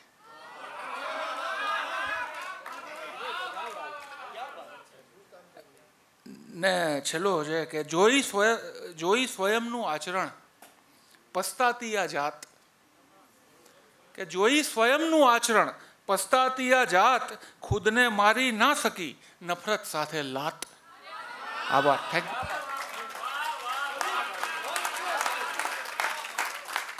યુ જોરદાર તાલીઓ થઈ જાય. ગઝલ સાંભળીએ એટલે આપણને એવું થાય કે, અને એવું હોય પણ છે કે કવિતા એ કાનની કળા છે. પણ કવિતા માત્ર કાનની કળા નથી, આંખની પણ કળા છે. એ તમારે જો અનુભવવું હોય, તો આપણા યોગેશભાઈ જોશીની કવિતા તરફ જઈએ, ત્યારે માત્ર સાંભળવાનું નહીં, પણ જોવાનું પણ હોય, વાંચવાનું હોય છે. એમાં જે આકાર હોય છે, એમાં જે ફોર્મ હોય છે, એ ફોર્મ સાથે એ કવિતાને વાંચવાની હોય છે. અને મને લાગે છે, યોગેશભાઈ, કે બીએસએનએલને કારણે કદાચ આવ્યું હશે, તમને આમ ખાતરી થઈ ગઈ હશે કે માત્ર કાનની કળા નથી, આ આંખની પણ કળા છે. અને આ ખાતરી કરાવે બીએસએનએલ આપણને વારંવાર. યોગેશભાઈ ડીજીએમ તરીકે નિવૃત્ત થયા બીએસએનએલમાંથી અને એમના કાવ્ય સંગ્રહ, અવાજનું અજવાળું, તેજના ચાસ, જેસલમેર વાંચીએ તો આપણને આમ એના જેસલમેર આમ નજર સામે ખડું થાય. યોગેશભાઈને વાંચીએ અને ગુલામ મોહમ્મદ શેખ સાહેબનું પણ જેસલમેરના કાવ્યો વાંચીએ. આ બધું આમ સાથે સાથે વાંચીએ તો આપણે એક એક સરસ મજાનો પ્રવાસ થઈ જાય જેસલમેરનો. અને આંખની જે કળા છે એ અંદર ઉતરે આપણી. એટલી સરસ મજાની એ રચનાઓ. અને સમૂડી જેવી લઘુ નવલથી અમે તો ભણતા હતા. અને એ ભણતા ભણતા પછી એક વખત એક અઠવાડિયું મગોદ તમારા સાનિધ્યમાં વાર્તા શિબિરમાં મળવાનું થયું. અને ત્યારે કવિ કેટલા રુજુ હોય, એમનો પણ ખ્યાલ આવ્યો. અને એવા ને એવા એક રુજુ કવિ ઉષ્ણસ પણ ત્યાં મળેલા. અને આ બધું યાદ આવે છે. યોગેશભાઈને હું રજૂ કરું. એ પહેલાં મારે એમનું એક કાવ્ય તણખલું વાંચવું છે. ત્રણેક કાળા વાદળો. ત્રણેક કાળા વાદળો એકમેકને છેદતા હતા ત્યાં. નિરાતે સાંભળજો કે ત્રણેક કાળા વાદળો એકમેકને છેદતા હતા ત્યાં દેખાતું હતું અજવાળાની બખોલ જેવું. આકાશમાં માળા ન બંધાય એ જાણવા છતાંય હું ઉડવા લાગ્યો એ બખોલ તરફ. ચાંચમાં સૂકું, સોનેરું તણખલું લઈને. પ્રતિક અને કલ્પન કઈ રીતે અહીંયા આવે છે એ વાંચવા માટે યોગેશભાઈના આ બધા સંગ્રહોમાંથી પસાર થવું જોઈએ તો હું યોગેશભાઈને વિનંતી કરું કે આપ પધારો અને કાવ્યપાઠ આદરણીય ધીરુભાઈને વંદન. મૃત્યુ વિશેના બે કાવ્યો હું વાંચીશ. આ કાવ્યો પરિષદના પ્રાંગણમાંથી જે વૃક્ષો કપાયા, એ વૃક્ષોને અર્પણ કરું છું. અને સાથે આશા છે કે પ્રકાશભાઈ વહેલી તકે વૃક્ષારોપણ પરિષદમાં થશે. કદાચ પહેલો વરસાદ થાય ને તરત વૃક્ષારોપણ થાય એવું આપણે ઈચ્છીએ અને વૃક્ષારોપણ થાય એના ફોટાઓ મીડિયામાં બધે આવે એવી વ્યવસ્થા પ્રકાશભાઈ અને પ્રફુલ્લભાઈ કરશે. તો મરણ વિશેનું આ કાવ્ય. માળાના મણકાની જેમ ફર્યા કરે શ્વાસ. પાણિયારે કરેલા ઘીના દીવાની વાટમાં પ્રજ્વળે મારું નામ. જીભ પર તુલસીનું પાન, પણ જીભ તો જાણે માટી. જીભ પર તુલસીનું પાન, પણ જીભ તો જાણે માટી. ઝૂરે અંતકાળનો લાડુ. કાન પાસે હોલવાય ઘંટારવ. નાભીમાં કરમાય કમળ, એની સુવાસ ફેલાય અવકાશમાં. આજ્ઞા ચક્રમાં ઉમટે, આછો આછો કાને પડતો ગીતાના શ્લોકનો ઉજાસ. હાથીનો પગ હજીએ મગરના જડબામાં. તાંબાની સીલબંધ લોટીમાં ગુંગળાતું ગંગાજળ ઝંખે અધખુલા બોખા મુખમાં મોક્ષ. તાંબાની સીલબંધ લોટીમાં ગુંગળાતું ગંગાજળ, ઝંખે અધખુલા બોખા મુખમાં મોક્ષ. આંગળામાં અટકી ગયેલી માળામાં ફર્યા કરે ગ્રહો અને ઉપગ્રહો.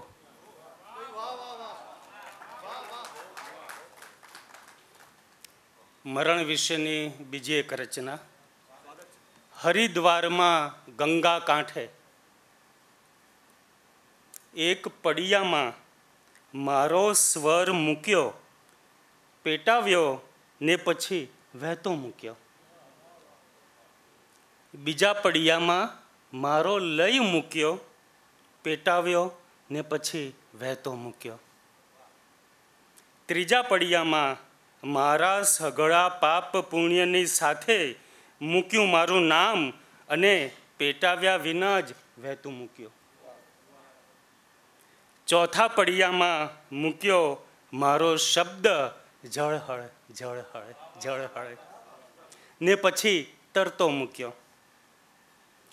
પાંચમા પડિયામાં મૂક્યા મારા અસ્થિ ફૂલ. પાંચમા પડિયામાં મૂક્યા મારા અસ્થિ ફૂલ, હળવા ફૂલ. ને વહાવી દીધા ખળખળ ખળખળ ખળખળ ખળખળ ખળખળ પળ પળ પળ પળ ખળખળ ખળખળ ને તોય હજીએ શું રહી ગયું બાકી? થેન્ક યુ શબ્દનો અવાજ પણ અહીંયા પકડવાનો હોય છે અને ખૂબ સરસ રીતે એ કવિતાઓ આપણા સુધી પહોંચી. એક સમય બે વર્ષનો જે આપણે બાદ કરવા માગીએ છીએ અને એ બે વર્ષ સિવાય પણ ઘણા બધા એવા બનાવો બનતા જ રહેતા હોય છે કે જે આપણે બાદ કરવા જોઈએ, પણ આપણે કરી શકતા નથી. અને એવા જે બનાવો હોય, એની ઉપર કવિ પ્રહાર કરતો રહે છે. કવિતાનો પ્રહાર એ લોહી લુહાણ ના કરે, એ તમને સોળ ઉઠાડે. ઢીમડા કરે. એ ઢીમડા પછી તમને દુખ્યા કરે. જ્યારે જ્યારે પણ યાદ આવે ત્યારે. એ સોળ તરફ એમ થાય કે કોઈ હાથ ફેરવે તો સારું અને કોઈ હાથ ફેરવવાવાળું પણ ના મળે. કવિતા આ કામ કરે અને એ રીતે એ માણસને એ ઉપર ઊંચે લઈ જાય. જો કવિતા આ કામ ના કરતી હોય, તો એ કવિતા કંઈક જુદી કવિતા બનતી હોય છે. પણ અહીંયા એવા કવિની વાત કરવી છે. કે જે અજવાસના મત્સ્ય લઈને આવે છે. એ બરડાના ડુંગર લઈને આવે છે. એ આ કૌરવ પાંડવના સમયમાં લઈને આવે છે. પાંચ હજાર વર્ષ આપણે ગણીએ, સૌ ગણે છે, એટલે આપણે પણ ગણીએ.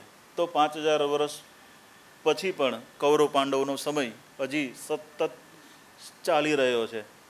અને એમાં એ કવિ એવી ધારદાર પ્રહાર કરે એક રચના હું એમની વાંચીશ અને એમને રજૂ કરીશ.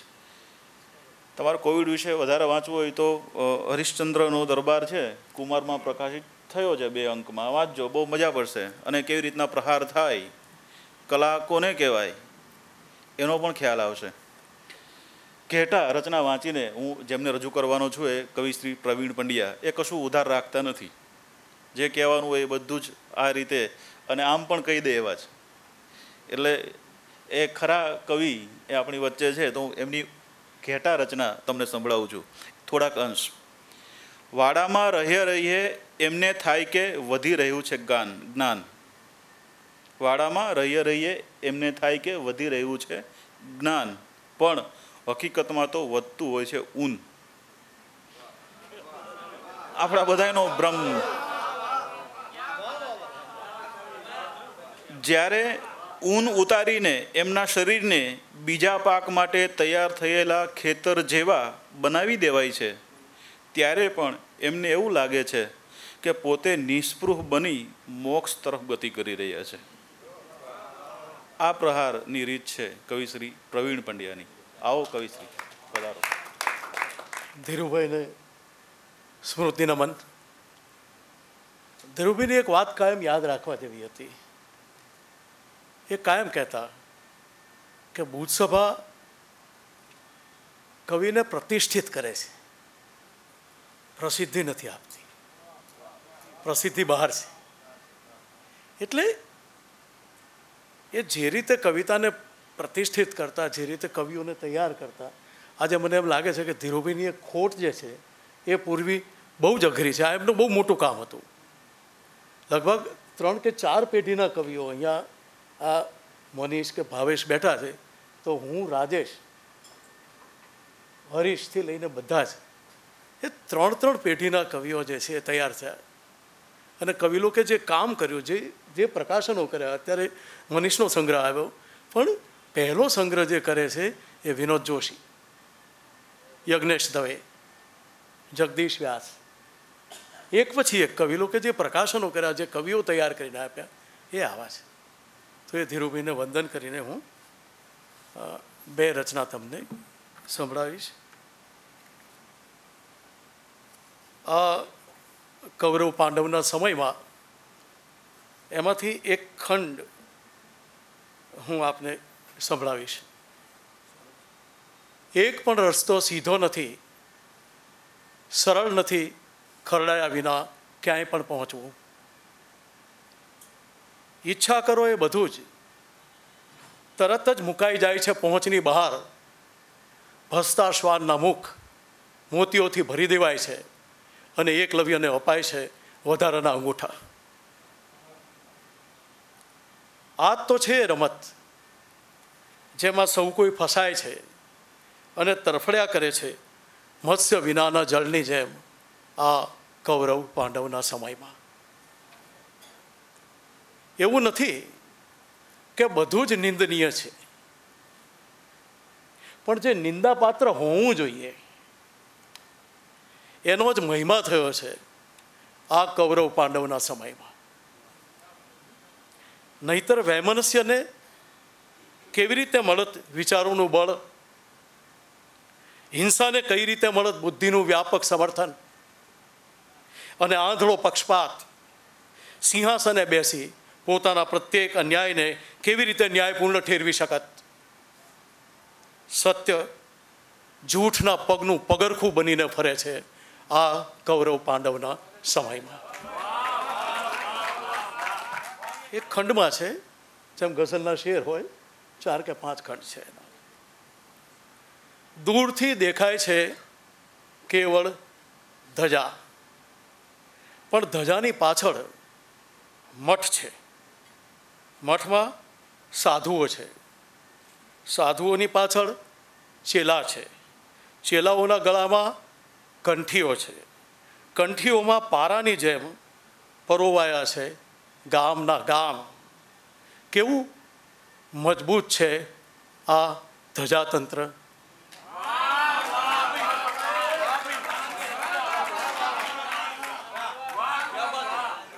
કેવું મજબૂત છે આ ધજાતંત્ર દૂરથી દેખાય છે, કેવળ ધજા. બે, તું જ્યારે મારી સામે સ્મિત ફરકાવતો હોય છે, ત્યારે હું જોતો હોઉં છું, તારા માથે ફરકતી ધજા. તું કવિ છે, તો નરસૈયાની જેમ હાથની જે મશાલ કરને બીજાની ધજા શું કામ ઉપાડે છે?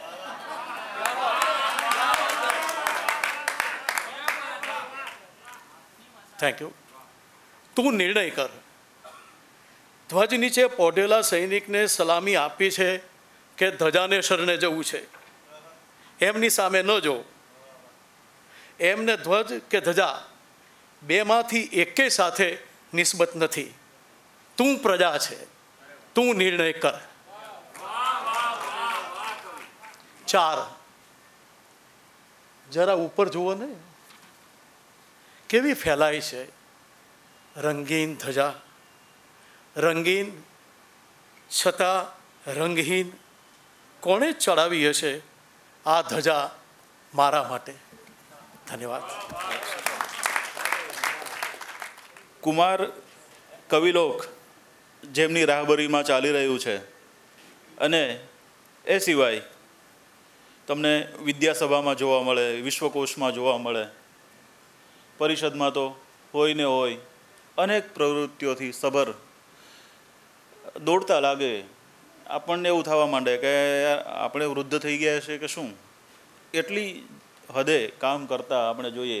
અનેક વિધાઓમાં એમનો પ્રવેશ ચરિત્ર નિબંધ હોય, લલિત નિબંધ હોય, કવિતા હોય, રમતગમત વિશે પણ બધું જાણતા હોય, શિલ્પ સ્થાપત્ય વિશે પણ એમના લેખો આવતા હોય. વિવેચનને એ પણ ચાલતું હોય. એક બાજુ લઘુ નવલ ચાલે લઘુકથા ચાલે. શું શું ચાલતું હોય આમ? અને બીજું, તમે જાણો છો એવું ઘણું બધું ચાલ- ચાલતું હોય પરિષદનું.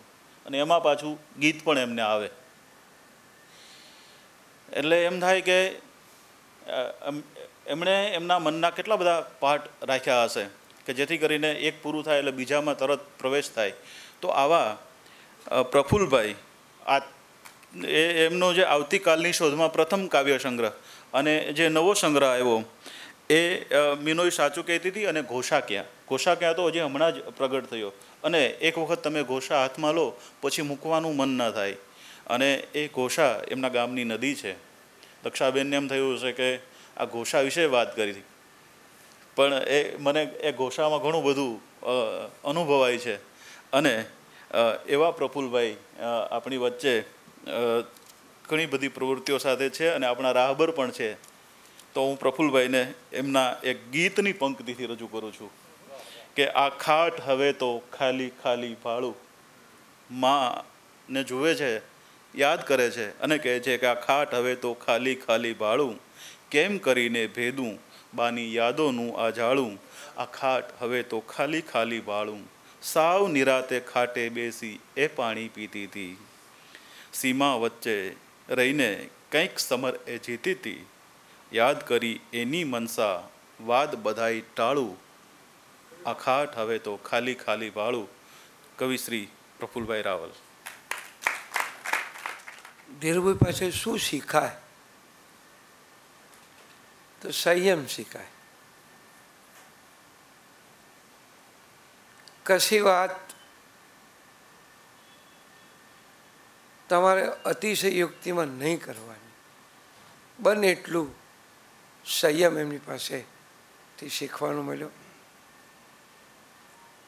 વીસ વર્ષ સતત અને એ પહેલાંના વર્ષો રઘુભાઈ યાદ કર્યું, મેં એમફિલ એમની પાસે કર્યું, પીએચડી એમની પાસે કર્યું. મને લાલાલાલની પંક્તિ યાદ આવે છે. શું શું સંભાળું? ને શીશી કરું અર્ચના, પુણ્યાત્માના ઉડાણો તો આબ જેવા અગાધ છે. ધીરુભાઈને એ રીતે જ યાદ કરાય. જયંતભાઈએ ગીતનો ઉલ્લેખ ઉલ્લેખ કર્યો. એટલે ગીત એક કહું છું. હું જ સાંભળું મને, હું જ સાંભળું મને વચ્ચે વચ્ચે કોનો ટવકો દોડી આવે કને, હું જ સાંભળું મને. બપોર આખી જૂના દૃશ્યો કેવા રમણે ચઢે, બપોર આખી જૂના દૃશ્યો કેવા રમણે ચઢે, ઢળતા તડકે ધીમી ચાલે દ્રશ્યો ઝાંખા પડે. ઝાંખી ઝાંખી છાયા મારી મારી સાથે લડે હું જ સાંભળું મને સાંજ પડે ત્યાં પંખી મેરો આંગણ આવી રમે કલરવ વચ્ચે સૂની આંખો છાની માની જમે જમતી આંખે જોતા જોતા આસ સામટી દમે, હું જ સાંભળું મને. આમ તો મોટે ભાગે છંદ વગરના કાવ્યો, એટલે અછંદાસ કાવ્યો લખવા હું ટેવાયેલો છું. બીજી રચના છે. બોલ. કંઈક તો બોલ. બોલ. કંઈક તો બોલ. અષાઢ જેવું નહીં. તો વૈશાખ જેવું બોલ.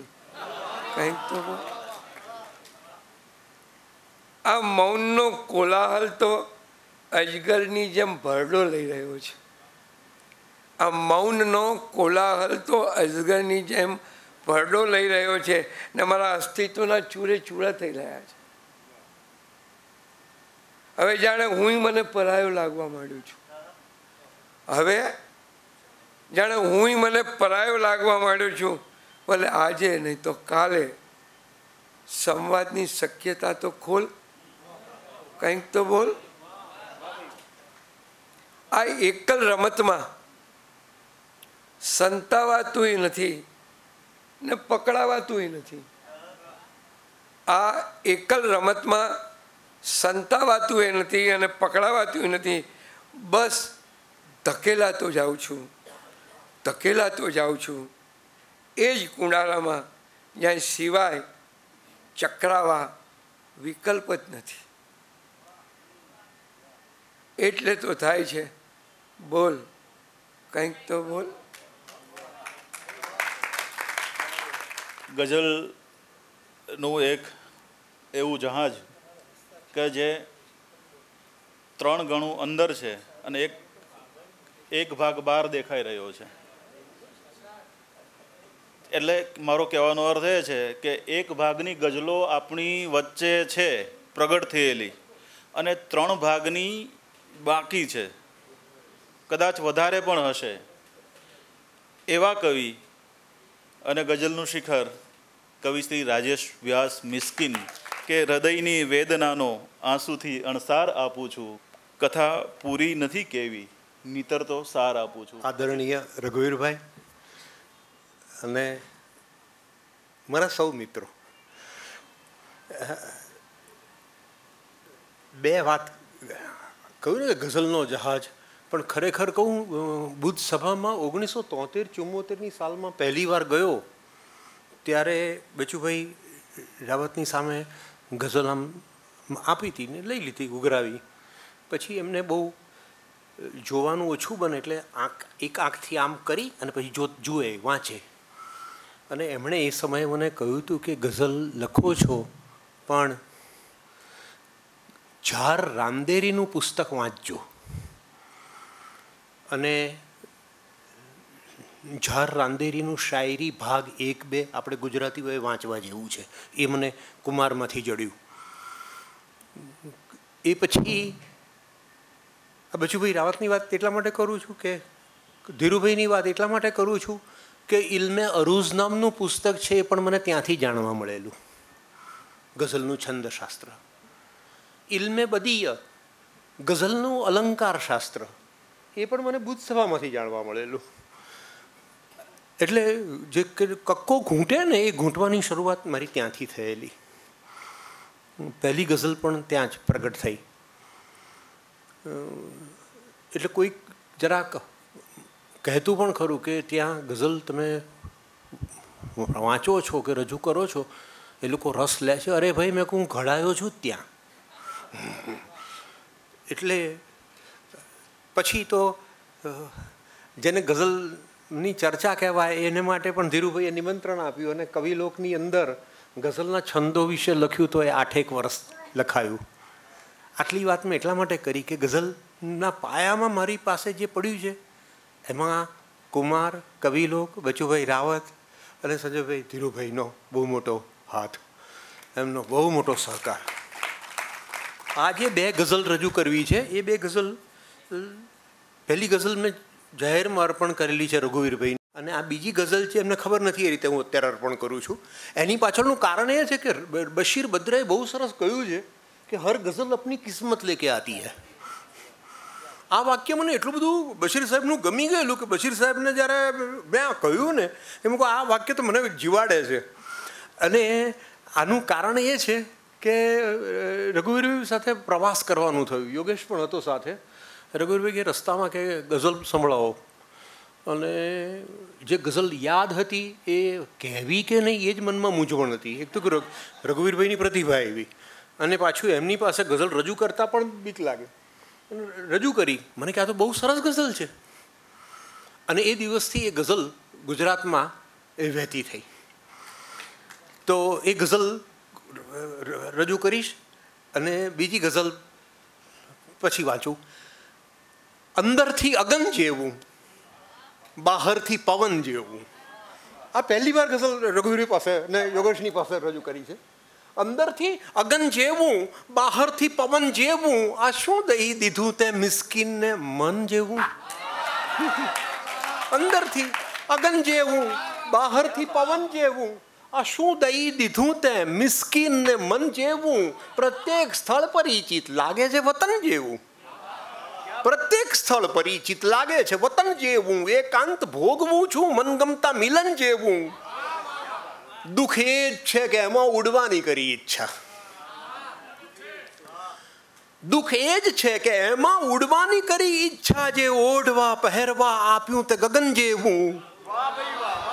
દુઃખ એ જ છે કે એમાં ઉડવાની કરી ઈચ્છા. જે ઓઢવા, પહેરવા, આપ્યું તે ગગન જેવું આ લોહી જાણ શ્વાસોનું એક આય કારણ. આ લોહી જણ શ્વાસોનું એક આય કારણ ઊંડે, કશુંક ઊંડે લાગ્યું તું લગન જેવું. કઈ એમ સાચવું છું મારામાં યાદ તારી. કઈ એમ સાચવું છું મારામાં યાદ તારી, કોઈ ચીથરામાં જાણે સાચવતું રતન જેવું. ફાવી ગયું છે મિત્રો, મરવાનું કટકે કટકે ફાવી ગયું છે મિત્રો. મરવાનું કટકે કટકે, કટકાઓ જોડી જોડી જીવ્યો છું ગગન જીવન જેવું. આ ગઝલ પછી આ ગઝલ રઘુવીરભાઈ એટલા માટે બહુ સરસ થઈ કે આ છંદોની બાબતમાં ચાલતી હતી વાતો. ત્યારે ફરી પાછા બચુભાઈ ને ધીરુભાઈનું સ્મરણ એટલા માટે કરું છું કે બુદ્ધ સભામાં એકવાર એમણે કહ્યું કે છંદ તો શ્વાસમાં રમવો જોઈએ. અને મને ગઝલ વાંચતા આવડી. આ એક બહુ મહત્વની વાત કરું છું. પઠન કલા એ બહુ મહત્વની છે ને પહેલી વાર ખબર પડી હતી. અને એ પછી તો આ ગઝલ કદાચ કોઈકે સાંભળી હશે હમણાંમાં. બહાર નીકળી, મળી બધાને, ફરી એકલા પડી જવાનું. બહાર નીકળી, મળી બધાને, ફરી એકલા પડી જવાનું. ફરી ફરીને બધુંય તાજું કરી એકલા પડી જવાનું. બહાર નીકળી મળી બધાને ફરી એકલા પડી જવાનું, ફરી ફરીને બધુંય તાજું કરી, એકલા પડી જવાનું બચપણથી તે આજ લગીની અનેક યાદો ઘણાય ચહેરા. બચપણથી તે આજ લગીની અનેક યાદો ઘણાય ચહેરા, કેટ કેટલું ભૂલાયેલું સ્મરી, એકલા પડી જવાનું. ને ક્યાંક ખબર જો પડી જાય કે સાવ એકલા છીએ, થશે શું? ક્યાંક ખબર જો પડી જાય કે સાવ એકલા છીએ, થશે શું? ખુલતા ખુલતા એ જ બીકમાં ડરી, એકલા પડી જવાનું. ને માણસ ભૂખ્યા માણસ ભૂખ્યા માણસ કેવા? જ્યાં જઈએ ત્યાં મળતા મેળા.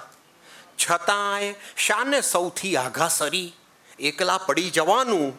ને તું આ છે, તું આ પણ છે, તું આવો નહોતો કંઈ પહેલાંથી. તું આ છે, તું આ પણ છે તું આવો નહોતો કંઈ પહેલાંથી મિસ્કિન ખુદની સામે ખુદને ધરી, એકલા પડી જવાનું. એવા નવલકથાકાર કે જે અમૃતામાં બૌદ્ધિક ચર્ચાઓ પણ આપે અને ઉપરવાસ, સહવાસ, અંતરવાસમાં વાસ્તવિકતાને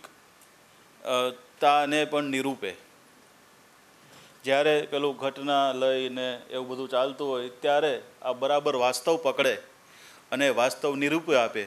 અને એ વાંચ્યા પછી તમારે ચૌધરી સમાજ વિશે સમજવા, જાણવા માટે કોઈ સમાજશાસ્ત્ર ભણવાનું રહે નહીં. માત્ર એક નવલકથા જ વાંચવાની રહે.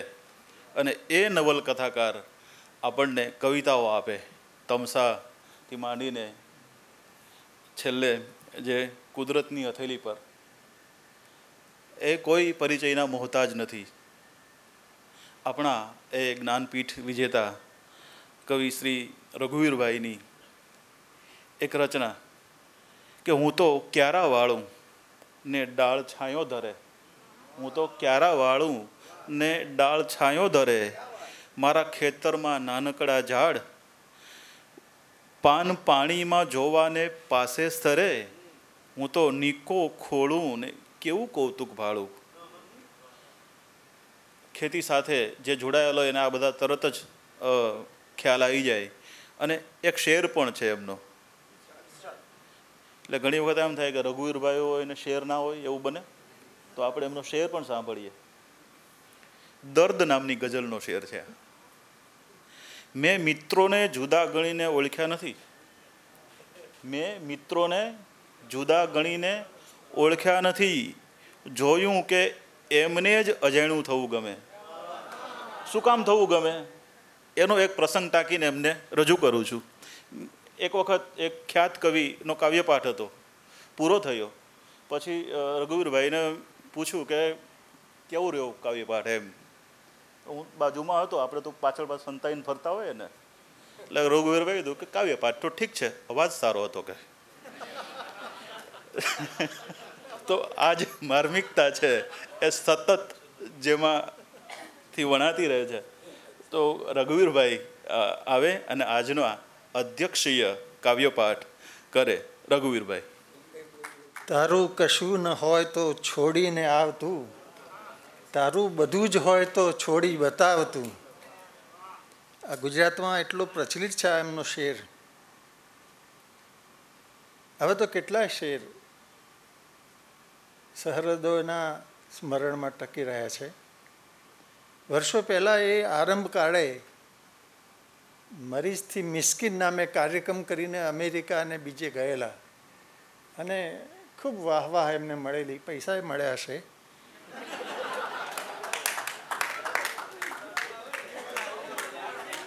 પણ એ પૈસાના ભૂખ્યા નથી, એ ન જવું હોય ત્યાં ન જ જાય. એ તમને ખ્યાલ નહીં આવે કે એ પોતે એક સાધક પણ છે.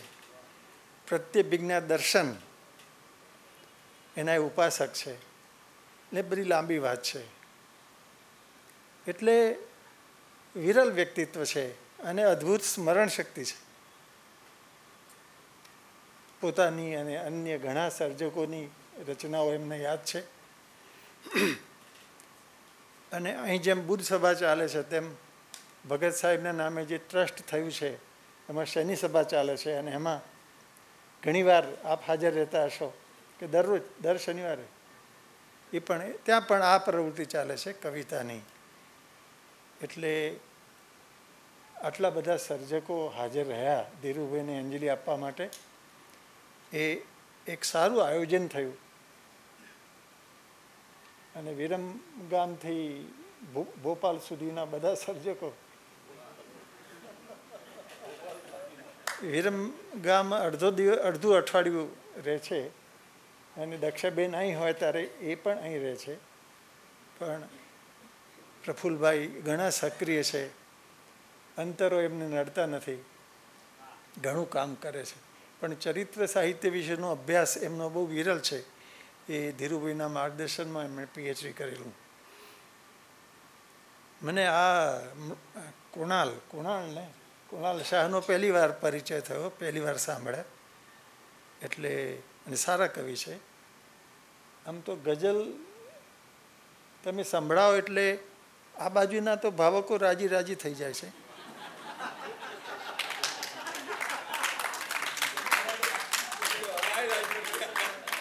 પણ કુણાલમાં બધાને રસ પડેલો. અને આમ તો અધિકારી છે કે સરકારી તંત્રમાં, એટલે ત્યાં સારું કામ કરતા જશે. આવી સામાજિક દ્રષ્ટિવાળી ગઝલ લખે એ સરકારમાં પણ સારું કામ કરે છે યોગેશ બે વર્ષથી બહાર નીકળ્યા નતા. મરણ વિશે જ કવિતા લખે એવી સ્થિતિ હતી એમની. પણ છેલ્લો સંગ્રહ જે એને ખબર નથી, મેં એના વિશે લખ્યું છે, પણ છપાવે, હવે ચોપડીમાં છપાશે. જેમાં કેનેડાના વૃક્ષો વિશે ઘણા કાવ્યો છે. તેજના ફોરા ને એવું નામ છે. તો આજે મેં પણ એમને ઘણા વખતે જોયા. અને શેફસા ટકી રહ્યા. થોડાક બગડ્યા છે પણ ટકી રહ્યા અને અવાજ તો એનો બરોબર ટકી રહ્યો છે. એ કવિ છે અને મોટા વિવેચક પણ છે. જ્યારે પણ ગુજરાતમાં કશું ઉત્તમ થયું હતું ત્યારે એને બહુ સુદીર્ઘ પ્રસ્તાવનાઓ પરબની લખી અને એની પાસે પરબ સલામત હતો. કેટલા બધા વરસ એણે પરબ ચલાવ્યું. સેવા કરી પરિષદની. અને વૃક્ષો માટે પણ એ આવશે જ્યારે જરા વાતાવરણમાં ગરમી ઘટશે એટલે આપણે બધા, જે કપાયામાં કેટલાક મેં પણ વાવેલા હતા. શું કરો તમે? એટલું દુઃખ થાય છે, પણ શું વાત કરીએ? હવે પરિષદની કારોબારી અને સમિતિ નિર્ણય કરે તે ખરું. છેવટે ટ્રસ્ટીઓએ તો કંઈ કરવું જ પડશે. તો આમ તો હું લાવેલો હતો ચોપડી પણ. મિત્રો પૂછતા હતા ત્યારે મેં નામ પણ કહ્યું. ખેતરમાં વેપારી પણ એ પછી ક્યારેક. હવે બુદ્ધ સભાનો સંદર્ભ છે તો જે રચનાઓ કુમારમાં છપાયેલી પાસઠના અરસામાં એ જ મને યાદ છે. આટલા વર્ષે પણ જુઓ ને, પાસઠ, પાંત્રીસ અને બાવીસ. એ બે રચનાઓ તમને કહું. ગઝલ પહેલાં કહું જે રીતે તમે લાંબી કવિતા પછી સાંભળો ધ્યાનથી. આ દર્દ મૌનમાં જ છવાતું ભલે હવે, મેં તો કહ્યું હતું મને ને સાંભળ્યું તમે. કવિતાની પ્રક્રિયા પણ આવી જ છે. માણસ જાત સાથે વાત કરતો હોય છે ને ક્યારેક વાત નીવડી આવે તો બીજા સુધી પહોંચે છે. આ સાંજની હવાને યાદ સૌમ્ય ઉદાસી, ચાલી ગયા એ સંગ સમયની ઊભા અમે. અને જયંતભાઈએ કહી તે એ જુદા ગણીને ઓળખ્યા નથી. જોયું કે એમને જ અજાણ્યા થવું ગમે. ભૂલી જવાય તોય ગુમાવાનું કંઈ નથી. ભૂલી જવાય તોય ગુમાવાનું કંઈ નથી. એ ભૂતકાળ તો જગતમાં સર્વદા ભમે. અને છેલ્લે મેં તો વિદાયનો જ અનુભવ સદા કર્યો. ખાલી બતાવ્યું, આભ, જનારા વિહંગમે. આ દર્દ મૌનમાં જ છવાતું, ભલે હવે. મેં તો કહ્યું હતું, મને. સાંભળ્યું તમે. હવે એક રાજસ્થાન નામની રચના છે. થોડીક લાંબી છે, એટલે હું એક જ વાર એક એક પંક્તિ બોલીશ. વગડે વગડે ઝાડ ટચુકડા ક્યાંક હોય તે પાન વિનાના ઝૂરે. ડુંગર ડુંગર ભૂરા કોરા ઝરણ વિનાના પથ્થરિયા મેદાન, વસેલા ખૂણે ખાંચરે ગામ.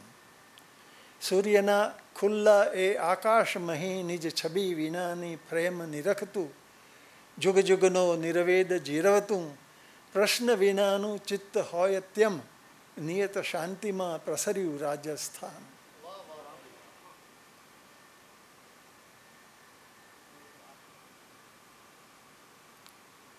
સૂર્યના ખુલ્લા એ આકાશમહી લાલુબા બોલે માધવને આખી રીતને. નિજ છબી વિનાની પ્રેમ નિરખતું જુગ જુગનો નિર્વેદ જીરવતું પ્રશ્ન વિનાનું ચિત્ત હોય તેમ નિયત શાંતિમાં પ્રસર્યું રાજસ્થાન ઊંટના સ્તબ્ધ રૂવાશું ઘાસ. ઘાસ પર વરસી આવે રેત. રેતનો રંગ ઊંટની પીઠ ઉપરને આંખોમાં પણ ફરકે એવો. હરતા ફરતા જરાક અમથા કાન માંડતા મરુભોમનો શોક સાંભળી શકો તમે પણ. માણસના ચહેરા પર જાણે ઝુંડી લુખ્ખી રેખાઓમાં એકમાત્ર ભૂતકાળ વિકસતો નથી હવે ઇતિહાસ એમના હાથે. બધો પરાજય ખંડિયેરના કણકણમાં વિકસેલો દેખો. મીરાબાઈએ છોડેલા મંદિરની વચ્ચે જ્યોત વિનાનું બળે કોડિયું. દેશ દેશના મૃગજળ જેવી કોક પદવીની જૌહરની જ્વાળાઓમાં સૌભાગ્ય સાચવે. મારા ગામે ભાગોળે બેસીને ધીરે હુક્કો પીતા વૃદ્ધો કાજે પૂજાપાનો થાળ ગ્રહીને જતી કન્યકા કાજે આજે ઊંટ તણી પીઠે લાદીને લાવી શકતો નથી હું રાજસ્થાન. હવે તો આંખ મહી એ ટકે એટલું સાચું.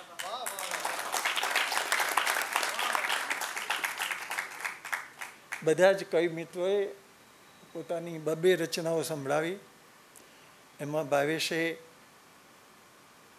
છંદ, દોહા કહો કે દુહા કહો. હવે ગઝલના એક શેરમાં આમાં કેટલું સામ્ય છે? ગઝલનો જે ચોટદાર શેર હોય એ તમને તત્ક્ષણ આનંદ આપે છે. એવું જ આ દોહામાં હોય છે અને એમના ઘણા બધા દોહા એટલા સરસ હતા. એમાં વિચાર, ભાવ, એમાં પ્રાસ એ બધું હતું. એટલે ભાવેશે આ હિંમત કરી એ એ બદલ આનંદ વ્યક્ત કરું છું. પછી પ્રવીણે તો પોતાના લાંબા કાવ્યો બે આખે આખા સંભળાવા જોઈતા હતા. પણ એ ફરી ક્યારેક, એ તો પ્રસંગ આવશે ત્યારે. અને આ મનીષની રચનાઓ તો મેં બીજી કે ત્રીજી વાર સાંભળી. ખરું ને? વાંચી હોય તો વળી વધારામાં. પણ લખો, નવી નવી લખો અને નવી ચોપડી છાપો, એની એ ફરી રિપ્રિન્ટ કરવી. એ જે સમારંભો કરે છે ને, એમાં ચોપડી ભેટ આપે છે, એની જ હોય છે.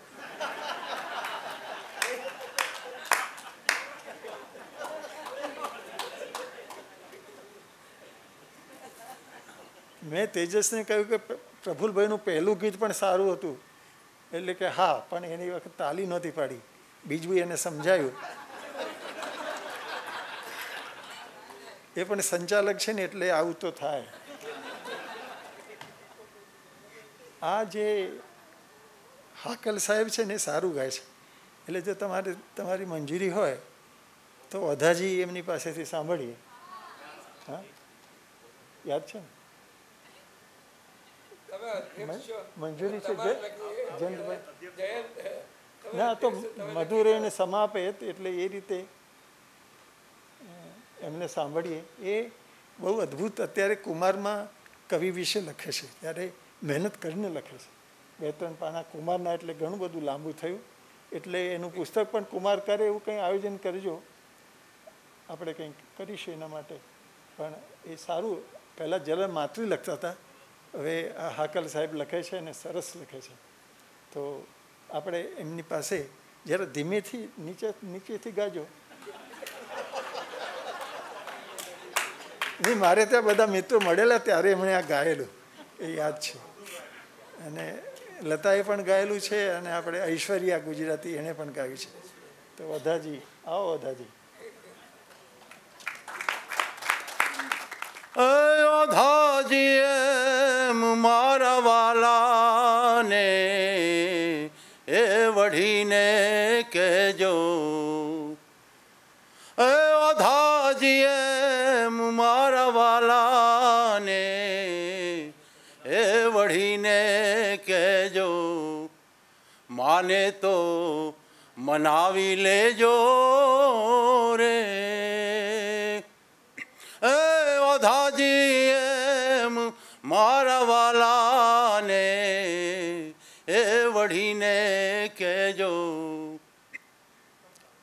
એકવાર ગોકુળ આવો.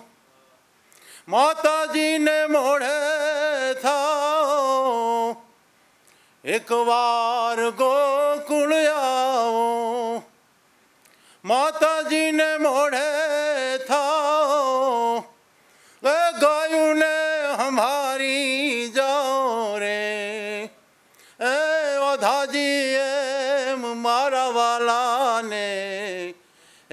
એ કેજો માને તો મનાવી લેજો રે. મારા વાલાને એ વઢીને કહેજો, વાલાની મરજી મારે શું? કેશે તે લાવી વાલાની મરજી મારે શું? એ તો લાવી દેશું. કુબજાને પટરાણી કહેશું રે. એ ઓધાજી એમ મારા વાલાને, એ વઢીને કહેજો. માને તો મનાવી લેજો રે એ ઓધાજી એમ મારા વાલાને હે વઢીને કહેજો.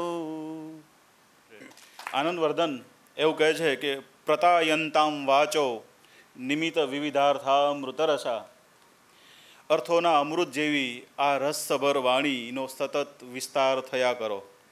એ અટકે નહીં. મનીષભાઈ પાઠક કવિલોક ટ્રસ્ટ આયોજિત ધીરુ પરીખની પ્રથમ પુણ્યતિથિએ કવિ સંમેલનનું આયોજન થયું. એમાં સૌ કવિઓ હાજર રહ્યા. તે માટે કવિલોક ટ્રસ્ટ વતી સૌ કવિઓનો આભાર.